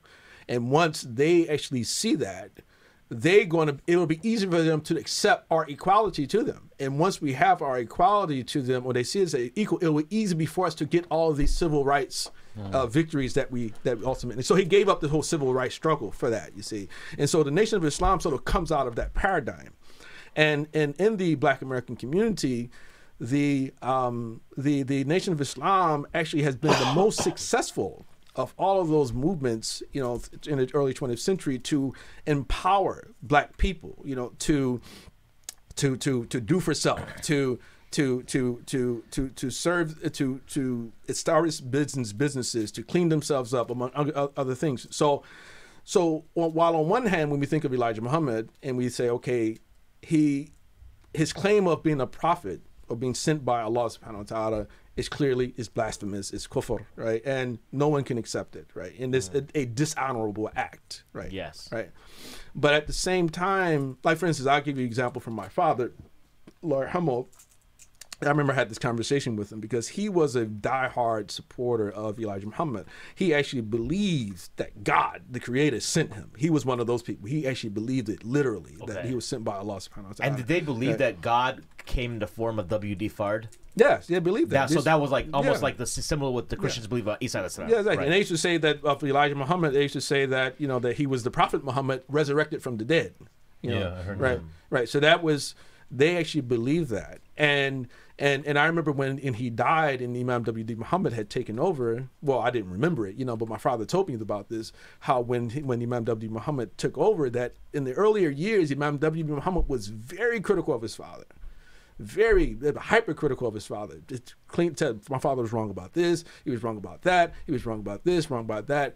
And my father, he he he lamented this this uh, fact uh, to me one time, saying that that we followed his son, but one thing I never really could wrap my head around with him was that he was so critical of his father. He didn't have to be so critical of his father that, that we would have followed him anyway, right? You know, they, I mean, Imam W. Muhammad. Yeah. And so my father was hurt when anytime someone spoke ill of Elijah Muhammad, and and the reason is because Elijah was, as my father said, eh, the way he put it was that was the very first person that ever made them feel like they were worth anything.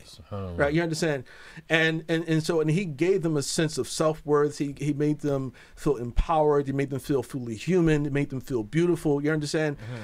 And and you know when you when you look at the fruit of Islam, you look at the nation of Islam in that time, even in the African American community, that when people think Muslims, even still today, when people you say word Muslims among most African Americans, they automatically think the nation of Islam, mm-hmm. right? Even still today, it's, it's really interesting, you know, with all of the spread of Sunnism, that they still sort of see real Muslims, the nation of Islam, because they see them these individuals, the guys, they didn't drink, they didn't smoke, they they were clean, they, they dressed clean. They spoke good English. They did not use profanity. Right, they're women. They, they they took care of their their their their their wives and their children. Right, you know they were leaders in their families. You know, so there was a lot that was respectable about what you know, they got people off of drugs. That people were addicted to heroin. They were helping guys get uh, unaddicted. Right, you know. So there was a, real major program that they had going on. And so when people think of like Elijah Muhammad, you know, they may they know that the claim of prophethood is is, is wrong, but at the same time, it's it's almost like trying to ask people dis, to disown their mother and father. Yeah. You understand? Hear you. right yo and and so that is really what what drives a lot of it see and and in spite of everything once all of the complaints came out and i saw this uh, im- immediately once it reached Imam Zayd, I think Imam Zayd probably went and spoke to the organizers and then actually changed the name. They actually changed the name of the program. I don't know if y'all saw that. No. They No. yeah, they actually did change the name of the program and they got rid of the honorable because it's okay. It's too much controversy being caused by we just want to remove the honorable, you know. But again, they wanted to acknowledge that this individual besides Dr. King, you know, he wasn't Muslim either, you know, but he there's his contribution to the black struggle or the American struggle, however you like to see it, or or any other person in in history, you know. So in one sense, you it's almost like studying him as a um, sociological phenomenon or you know or a, something o- o- o- on that level and but also appreciating things that perhaps potentially we can utilize ourselves you know because if we take the position that there's nothing good to be taken from Elijah Muhammad. It's, it's like Dr. Peterson, or it's like you know, Ben Shapiro, it's like you understand or Yeah. about Tucker Carlson, you know, because they had one opinion, right, that was wrong, then we we miss out on something that mm. actually can help us to improve the community, advance the community's uh, interest. Do you feel that the current? I don't know if you if you can comment on this or not, but um, for example, I don't know if you know Sultan Muhammad. He's the imam at Mosque Maryam in South Chicago. So he's and you you'll you'll see him at a lot of like Sunni events, right? And people say, well, that's his theology, um, but the nation is still part of the from the organizational point of view, right? Uh, my impression was always, you know, as I learned about the nation and Malcolm X, that they didn't really stress the theology. They weren't really gung ho about the theology. I Mm-hmm. guess they knew how to parrot it if somebody asked them, but they weren't really. That wasn't their core thing. They were more about the movement, the politics. Yes, right, exactly. Right. Was- like my mother used to say, she said that she never believed the stuff about like you know the white man, the devil, and you know whatever things. Or the But- but- spaceship. but, Yeah. yeah, the spaceship, you know, the mothership. Yeah. Um, and she didn't believe those things, but Mm-hmm. she was again. She people were just really, um, they were change. Yeah, they, they were looking for change. They saw the unity. They saw that. Listen, this is all these young people, right? Yeah. They, they are young people. You know, they were getting together, and everybody's wearing the same clothing. Everybody's talking about keeping their families together. People were talking about going and starting their own businesses. You know, not working for the white man.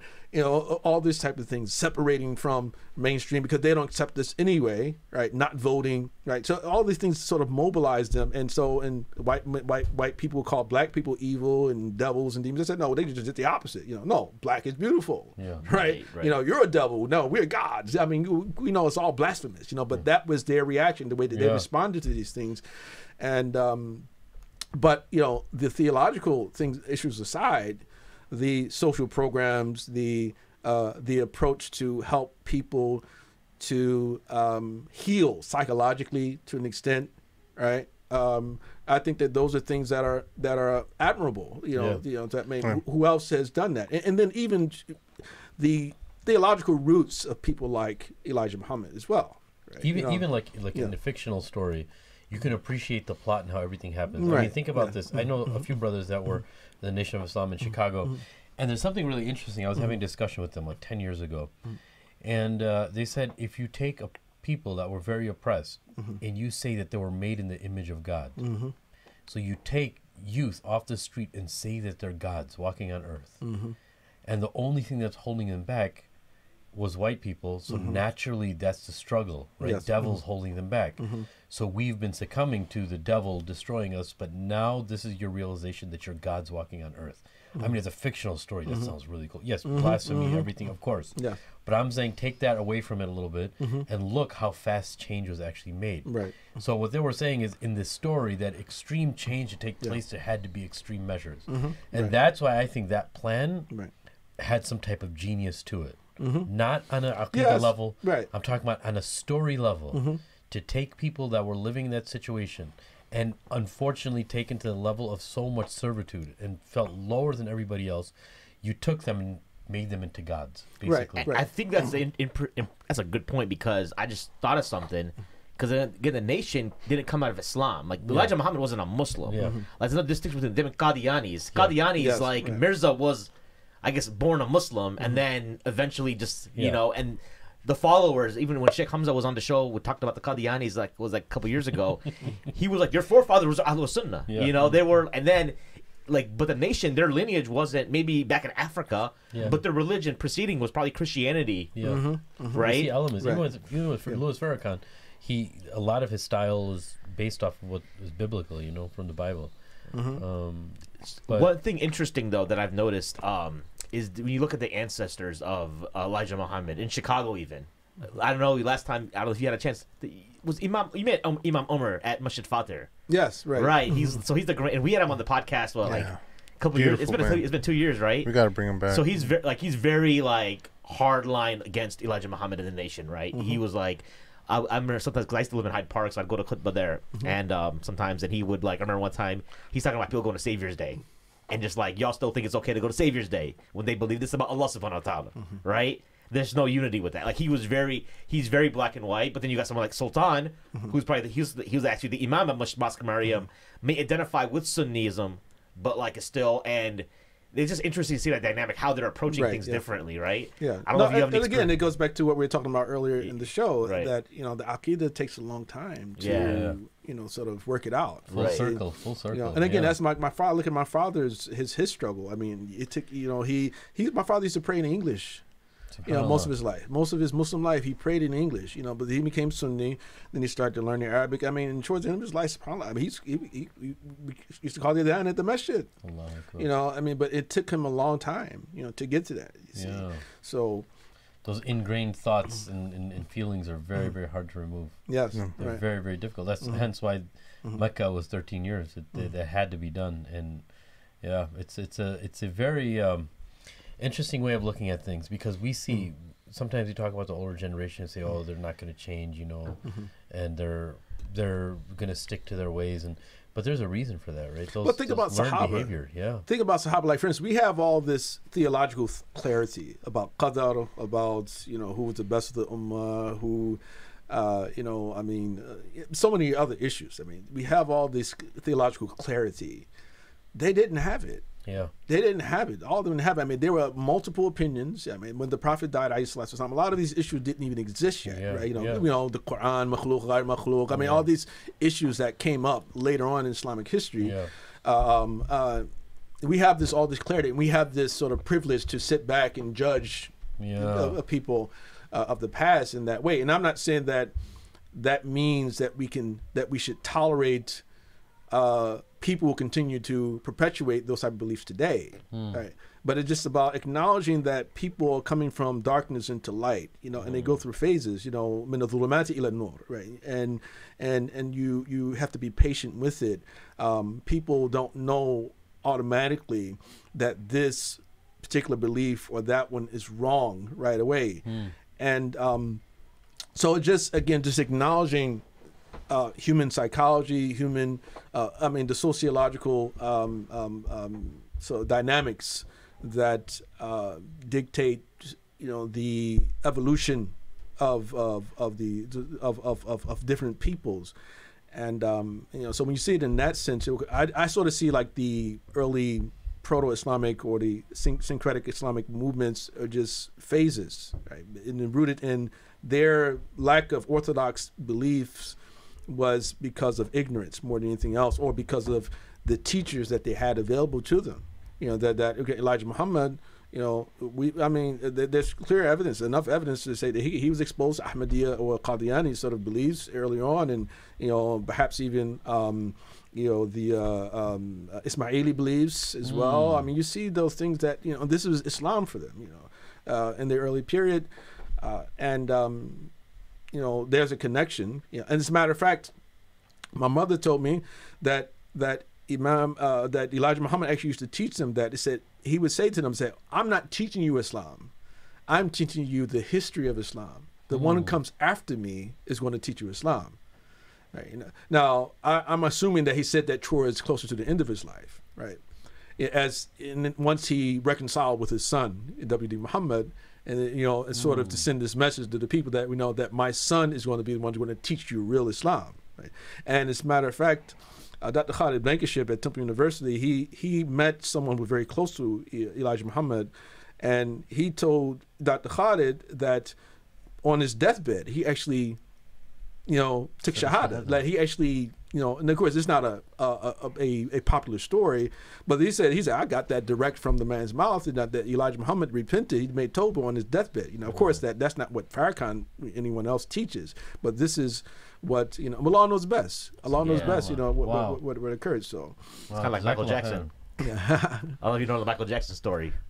what, how which like one? suppo- how he took shahada near the end of his life, and there was a janaza done.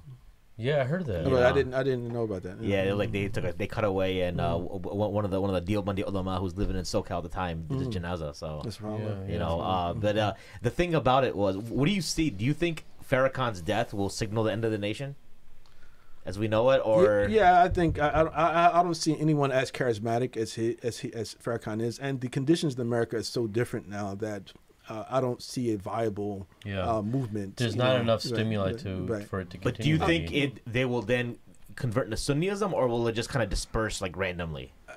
Well, I think that if we prepare the ground, then many of them will convert to Sunnism. Yeah. Uh, And but, but if we're of not Islam- doing anything, if we're not preparing for that day, I, I think that you know that the Farrakhan's death, whenever it does happen, is potentially dangerous for Muslims in America because at the rate that, uh, like right now, we consider people like Candace Owens and the Republican Party, the Conservative Party, who actually has been very successful in convincing a lot of uh, Black Americans to uh, to to become to leave the Democrat Party. Um, and this is why you know the Democrats are really they're terrified of this woman. You know, and you know, I don't know if you saw the congressional hearings last week and how she really she really laid them out. You know, for trying to distort her record. But people like her and who are black Christians and they're somewhat antagonistic, you know, towards Islam, um, and, and and that's not new, right? There are a lot of black Christians who don't like Muslims, you know, Oh, even yeah. a lot of black Muslims, you know. And Farrakhan, in one sense, sort of serves. What I see him as like serves as a buffer, like between, you know, the Muslim community in general, nationally, and you know, um, the the black Christian community Mm, because they, thought about they, like they see yeah. Farrakhan as like a, leg- a legitimate black leader. You know, unlike they don't see Jesse Jackson that way, or Cornel West, or Hmm. or um, um, Al you know, Sharpton. Al Sharpton. They don't. The blacks in general, they don't see them as as, as really bona fide uh, leaders. You know, but they see a lot of blacks see uh, Farrakhan as a a legitimate legitimate bona fide leader. And but once he he passes, um, uh, I don't see a successor, right, who can mobilize people in the way that he was able to do it. Uh, and and and if Muslims don't develop a, a, a type of dialogue with the black um, Christian and non-Christian community, uh, but is rooted in our own values as well, because with the because with the aim of trying to even help them become um, more moral and to be more successful, then there's potential of them even turning on black Muslims, right? And I and, and one thing that Dr. Khalid, you know, I really respect his opinion because as a historian, um, um, quite a bit. One thing he said years ago was that that the that the black American community actually, had it not been for the fact that we have significant number of black American Muslim converts, that the American government probably would just simply shipped out all of the Muslims from other countries a long time ago. You see, you know, and of course you see, what, you know, what's happening like right now. Even though I wouldn't characterize Trump's efforts as a, an effort to get rid of Muslims, you know, um, what we call the Muslim ban, you know, which is, you know, is uh, somewhat of, um, for me, you know, I understand why most people use the term, you know, it's called the Muslim ban. I don't read it as a Muslim ban, but it's, um, but basically, I just, I think that if Farrakhan removes his death will be sort of like somewhat of a removal of a certain type of protection that I think the national community has had, and so so so so then these Christians will move in, you know, further antagonizing black black American Muslims, and then um, perhaps even more Christians, black Christians, to become Republican as well, right, being conservative, right, and and if, Yeah, if that Muslims, movement has begun. Yeah, Right, yeah, yeah. yeah, yeah. yeah, they call it Blexit. They call it the Blexit yeah, movement. here. Yeah, So, yeah. you know. All right, just scanning through the uh, comments real quick. Um, one of the brothers actually wanted to thank you. He watched your 30 minute video on Ta'wil and Ibn Taymiyyah. So, and then uh, Sheikh Saad Qadri is asking if there was a recording of the program yesterday, which I don't know if there was. yeah, not. they said they recorded it. I saw a camera. Yeah, I'm Yeah. sorry. No, sorry, just uh, Sheikh Saad Qadri is listening. Salam, brother. Mashallah. Yeah. You know, He moved out to Milwaukee, so we don't see him that much anymore. Mashallah. Salam Yeah. inshallah. Anything All right. else? Any, any other questions for the for the Sheikh before we wrap Um, it up? well, what I, I just had a question regarding someone on uh, s- s- some of the more notable brothers on, on Twitter were saying. notable brothers on Twitter. Well, I guess uh, you know I don't want to mention names, you know, but they were saying like, oh, you know, when you when you guys invite uh, black brothers on the show, do you necessarily have to talk to them about black issues? I'm like, well, you know, some people need to know about stuff, and there's not that many um, intelligent people that I consider when when we invite people who are intelligent, you know, we invite them for a reason uh, because they can speak intelligently on many different topics. And I, I uh-huh. wanted your your take on, on that idea that you know this this new interplay of how you know all these various identities are, are now communicating with each other. No, we we just talked about uh, Nation of Islam. Did you mm-hmm. feel any offense to us even bringing that up with you? Because mm-hmm.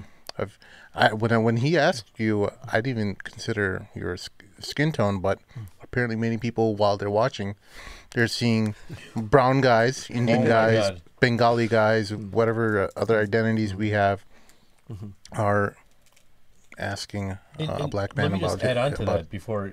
So, when we were talking about Black Lives Matter issues, they had a problem because there's only brown guys talking about it. And then when you bring somebody on that's we- when we African brought American, Omar- Imam then they say, "Why are you or like making him feel Walid, uncomfortable?" right. I'm not saying Yeah. those people, but I've heard those comments. Yeah. Why would you bring that up? You're gonna make him feel uncomfortable. I was like, dude, number one, we're all Muslims, and number two, we're not. Anyways, so that's that's a dilemma that Right. sometimes comes about. No, I don't. I don't. I- I'm not. I wasn't offended. Offended at all. Of course you and, weren't. and and um, I understand where certain people are coming from when they say, okay, well, almost uh, anytime we invite uh, a- a black person to a lot of programs, a lot of conversations that is specifically to deal with something related to blackness, you know, and that individual may be qualified. I mean, you know, again, so, you know, I teach fiqh, I do aqidah, I've, I've done usul, I, you know, I teach uh, family law, I teach inheritance. I, there's a lot of different things, the commercial law as well, hadith, a lot of different things I can speak to uh, from in, in relationship to Islamic disciplines. Uh, but um, so I do think that that is an issue in the community. Uh, but also, what comes along with that is that people don't only want us to come and talk about something about blackness. It's as if like Muslims and other people who are non-blacks want you to talk about blackness in the context of being a victim, right? And Yes, and and so so recently, this is actually a recent thing that happened, and, and this is in the Bay Area. I was invited to a masjid to to take part in a, a lecture series. And specifically, they asked me to come. They want me to come and talk about, you know, Black history of Black America, and they want to want to talk about, want people to understand, you know, your your experience in victimhood, things like that. And I responded to the individual sent the email, and I said to him, said, you know, I'm willing to come to speak at the masjid, you know, but I am a bit bothered by the fact that you are specifically asked me to talk about that, right? When I can, and I gave him like my like CV. It's like I, you know, all these things potentially I can talk about, you know. But you know, but I, I then I chose for them. I said to him that, that I'm willing to talk about um, um, um, issues of race and how the whole concept itself has led um, Muslims or Islam to uh, um, become itself a race, a race now, right? You know, rather than a religion anymore. And uh, and so later on, maybe within a week, the brother had decided. He said, "Oh yeah, that's good." But then, like a week later, he said he changed his mind. Oh well, we decided and everything. It'll be better to have it another time, and we'll contact you later on, right? And I haven't received any any response, you know, um, any follow up since that particular email. So it's as if unless I'm talking about I'm a black, I'm just so poor, I'm so like defenseless, and I'm a victim, and the white man did this to me, the white man did that to me, you know, then I, am not going to be invited you know, to, to give that conver- to have that talk. You see, but since I brought in the issue because it's I see it as directly related to Muslims' alliance or sort of I say Muslim placing themselves under the umbrella of the left, uh, and, and and me speaking to undermine that alliance. You know, they don't want me to do that. So they decided, no, we can't bring him to that because he's going to offend our friends. You know, that's the way I mm, interpret it personally. Yeah, see. and I think there's there's a lot that occurs when somebody's having a conversation, mm. and mm.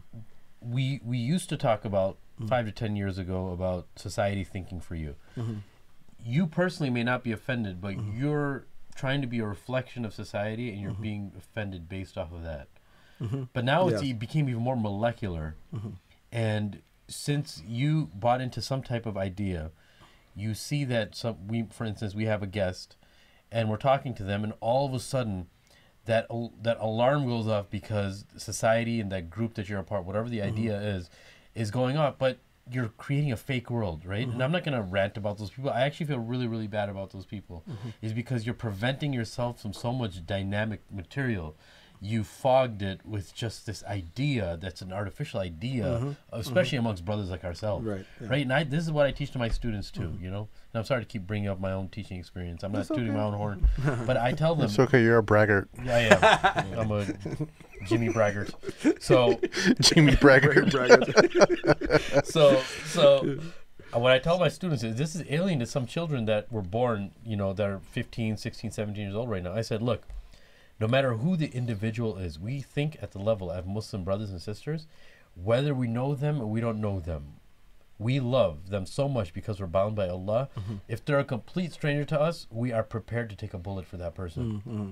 We don't care where they're from. Mm-hmm. We don't care what they look like. Yeah. You know, Allah doesn't look at those things, but Allah, He made you special because of La ilaha Muhammad Rasulullah in your heart. That's right. Mhm. But that comes with a pact. That comes with a treaty with all Muslims. Mm-hmm. And I want our listeners to know that is our understanding of Islam. We don't mm-hmm. care who somebody is. If they say la, even if they don't say La ilaha Muhammad Rasulullah, mm-hmm. you know, we hear khutbahs all the time about our neighbors, right? Even our neighbors, whether they're Muslim or not, it doesn't matter. We're, we're their protectors, right? So our mindset is it goes way beyond just some alarm going off and you thinking that we're trying to put somebody in a corner.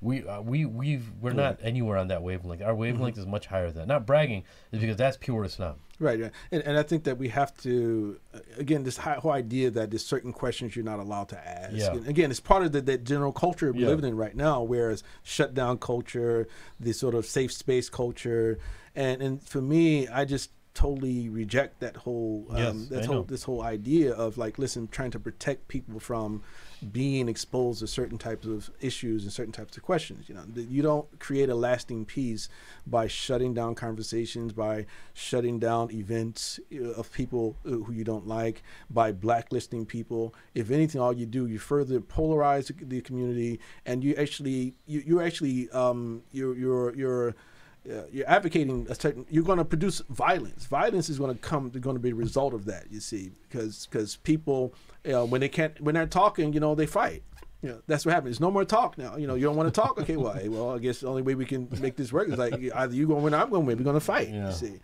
and and I'm afraid of that occurring like in our society right now, that um, a race war in like civil war level type of things, things happening like right now because of these culture wars that are going yeah. on and i just think that i just think this is a, a grave mistake that muslims have made and and and adopting the ideology of the left I'm not saying I'm not talking about Muslims working with people from the left. We can work with people with the left. I don't have a problem. I don't even have a problem working with Muslims who are LGBTQ, right, on issues that are of equal interest to us and they don't violate our morality, right?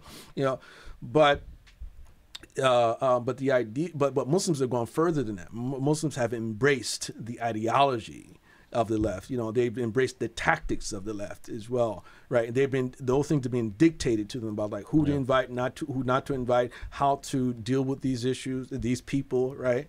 Uh, and um, and I think that that's a, a big problem. It's a big mm. problem. So and the and nothing. I don't see anything really on the on the Muslims' agenda, but even the political agenda that's really um, an Islamic, a, a you know a a a a, a, a uh, original Islamic concern beyond like Palestine, right? Other than that, yeah, personally. You know. All right. Well, Jazakallah khair, Sheikh Abdullah. I you know appreciate you coming through on this snowy it's like spring here in Chicago. It's, it, it's supposed to be like four inches, man. Yeah, I was thinking about that. It's April. I was driving. This is April and all this snow. this whole week was beautiful weather, and all of a sudden the snow came out of nowhere. Mm-hmm. You, you know what? When Dr. Ali came, we had a blizzard. Yeah. Must be Zaytuna guys coming through. I think so. Yeah. Wow. Yeah, that's true. Zaytuna and their blizzards. Y'all brought the snow from California. How can people find out more about your work? They want to like engage mm. you. Where are you at? Right. Um, website's address is at lamppostedu.org, um, or you can type type in lamppostproductions.com. Um, I'm, I'm, I'm on Twitter. I'm on Facebook. Um, I um, you know I largely just post. You know every once in a while I'll comment, but most of what what, what I'm doing in social media is posting things, and hopefully hopefully they're a benefit to people who are willing to watch the videos and read the articles, and rather than, and I don't take people's uh, you know crit- critiques seriously if they are not willing to watch or read what I post. Uh, and so when people say "out, bro" or whatever those type of things, that's not. I, I just ignore it. It doesn't mean anything to me. Right. If you if you have a valid critique, then I will consider it. If if you're not going to, but you have to w- listen to things. You know. So and so and that's what I didn't want to plug uh, for. Uh, we have an, an event next next uh, weekend in uh, Atlanta, Georgia, the second annual Black American Muslim Conference uh, at the um, uh, the uh, something Congress World Congress Center, the uh, Georgia Georgia World Congress Center. Um, and um, a lot of uh, our notable uh, scholars from the community, Imam Siraj, uh, Dr. Jackson, Imam Zayd, um, Sister uh, uh, Auntie Aisha Adwiya, among others who will be there in attendance on the April the 19th, 20th, 21st. If uh, people are around, please come through. If you would like to be a sponsor, please let us know. If you want some advertisement, you know, in our electronic brochure, if you want some vending, all those things are still available. Uh, but um, I, I, definitely appreciate uh, being on the show today. And and I was saying before we started, uh, I really appreciate all you brothers. Uh, even though I don't get a chance to to listen to you all the time, uh, what I have listened to in the past is uh, I really appreciate the fact that you're willing to deal with difficult di- difficult issues and willing to actually sit down and have conversations with people that you may actually even have ideological differences with. Right, and I think that that's the way forward. We need to do that very much more rather than you know doing what a lot of people uh, have been doing and simply ignoring and trying to blacklist and shut people down. No, and thank you so much for just mm. being there and, and your your presence on Twitter. Mm. You know, sometimes you, you want to say to yourself that you're the only one and you can stand on your mm. own two feet and, and say what you want to say, but having people like you gives us uh, strength, gives us um, a, bank, a backbone, you know, to to stand up in in, in the storm, you know, and and uh, It's a new chapter of inspiration, basically. Yeah. When somebody says that, alhamdulillah. And you made his day, man, because this guy does so much work. he does more work on this than he does his regular work. He goes to work just so he can work on No, this. uh, Sheikh, it, it's it, it's been a long time coming. and I'm embarrassed that it took so long to to bring you on. This this weekend has kind of been like that. We we had another guest uh, yesterday who was also uh, uh, someone we looked up to for a while, and he finally came on the show. And But we don't want just- you to think we intentionally put you on the back burner or anything like Yeah, that. it was- just No, so things alhamdulillah. happen the, the way they happen. Alhamdulillah, bothered our, our our following is much more bigger than it was in the past, and I think this appearance will have a, a better effect than it would have had in the past. Mm-hmm. So I- we appreciate Zaytuna College also for helping like us, mm-hmm. you know, get you guys in. You know, Yeah. Dr. Oh, Ali yeah. and you know yourself now, inshallah. And so, Yeah. um, you know, Talk to definitely. Sheikh Omar Qureshi when you go back. Tell him he has to come on too. No, I, I, I think he is planning to come to Chicago. So we'll wrap this up. Before we finish up, YouTube, like and subscribe. Tell your friends about us. We're still on iTunes. Dude, like give us. Don't forget about them five star. I know we haven't talked about it in a while. Still want the five star ratings at Yeah. patreon.com forward slash the Mad Mamluks. For our special guest, Sheikh Abdullah bin Hamid Ali, and my co host, Sheikh Amr Saeed and Sim, this is Mahin signing off for the Mad Mamluks. Assalamu alaikum.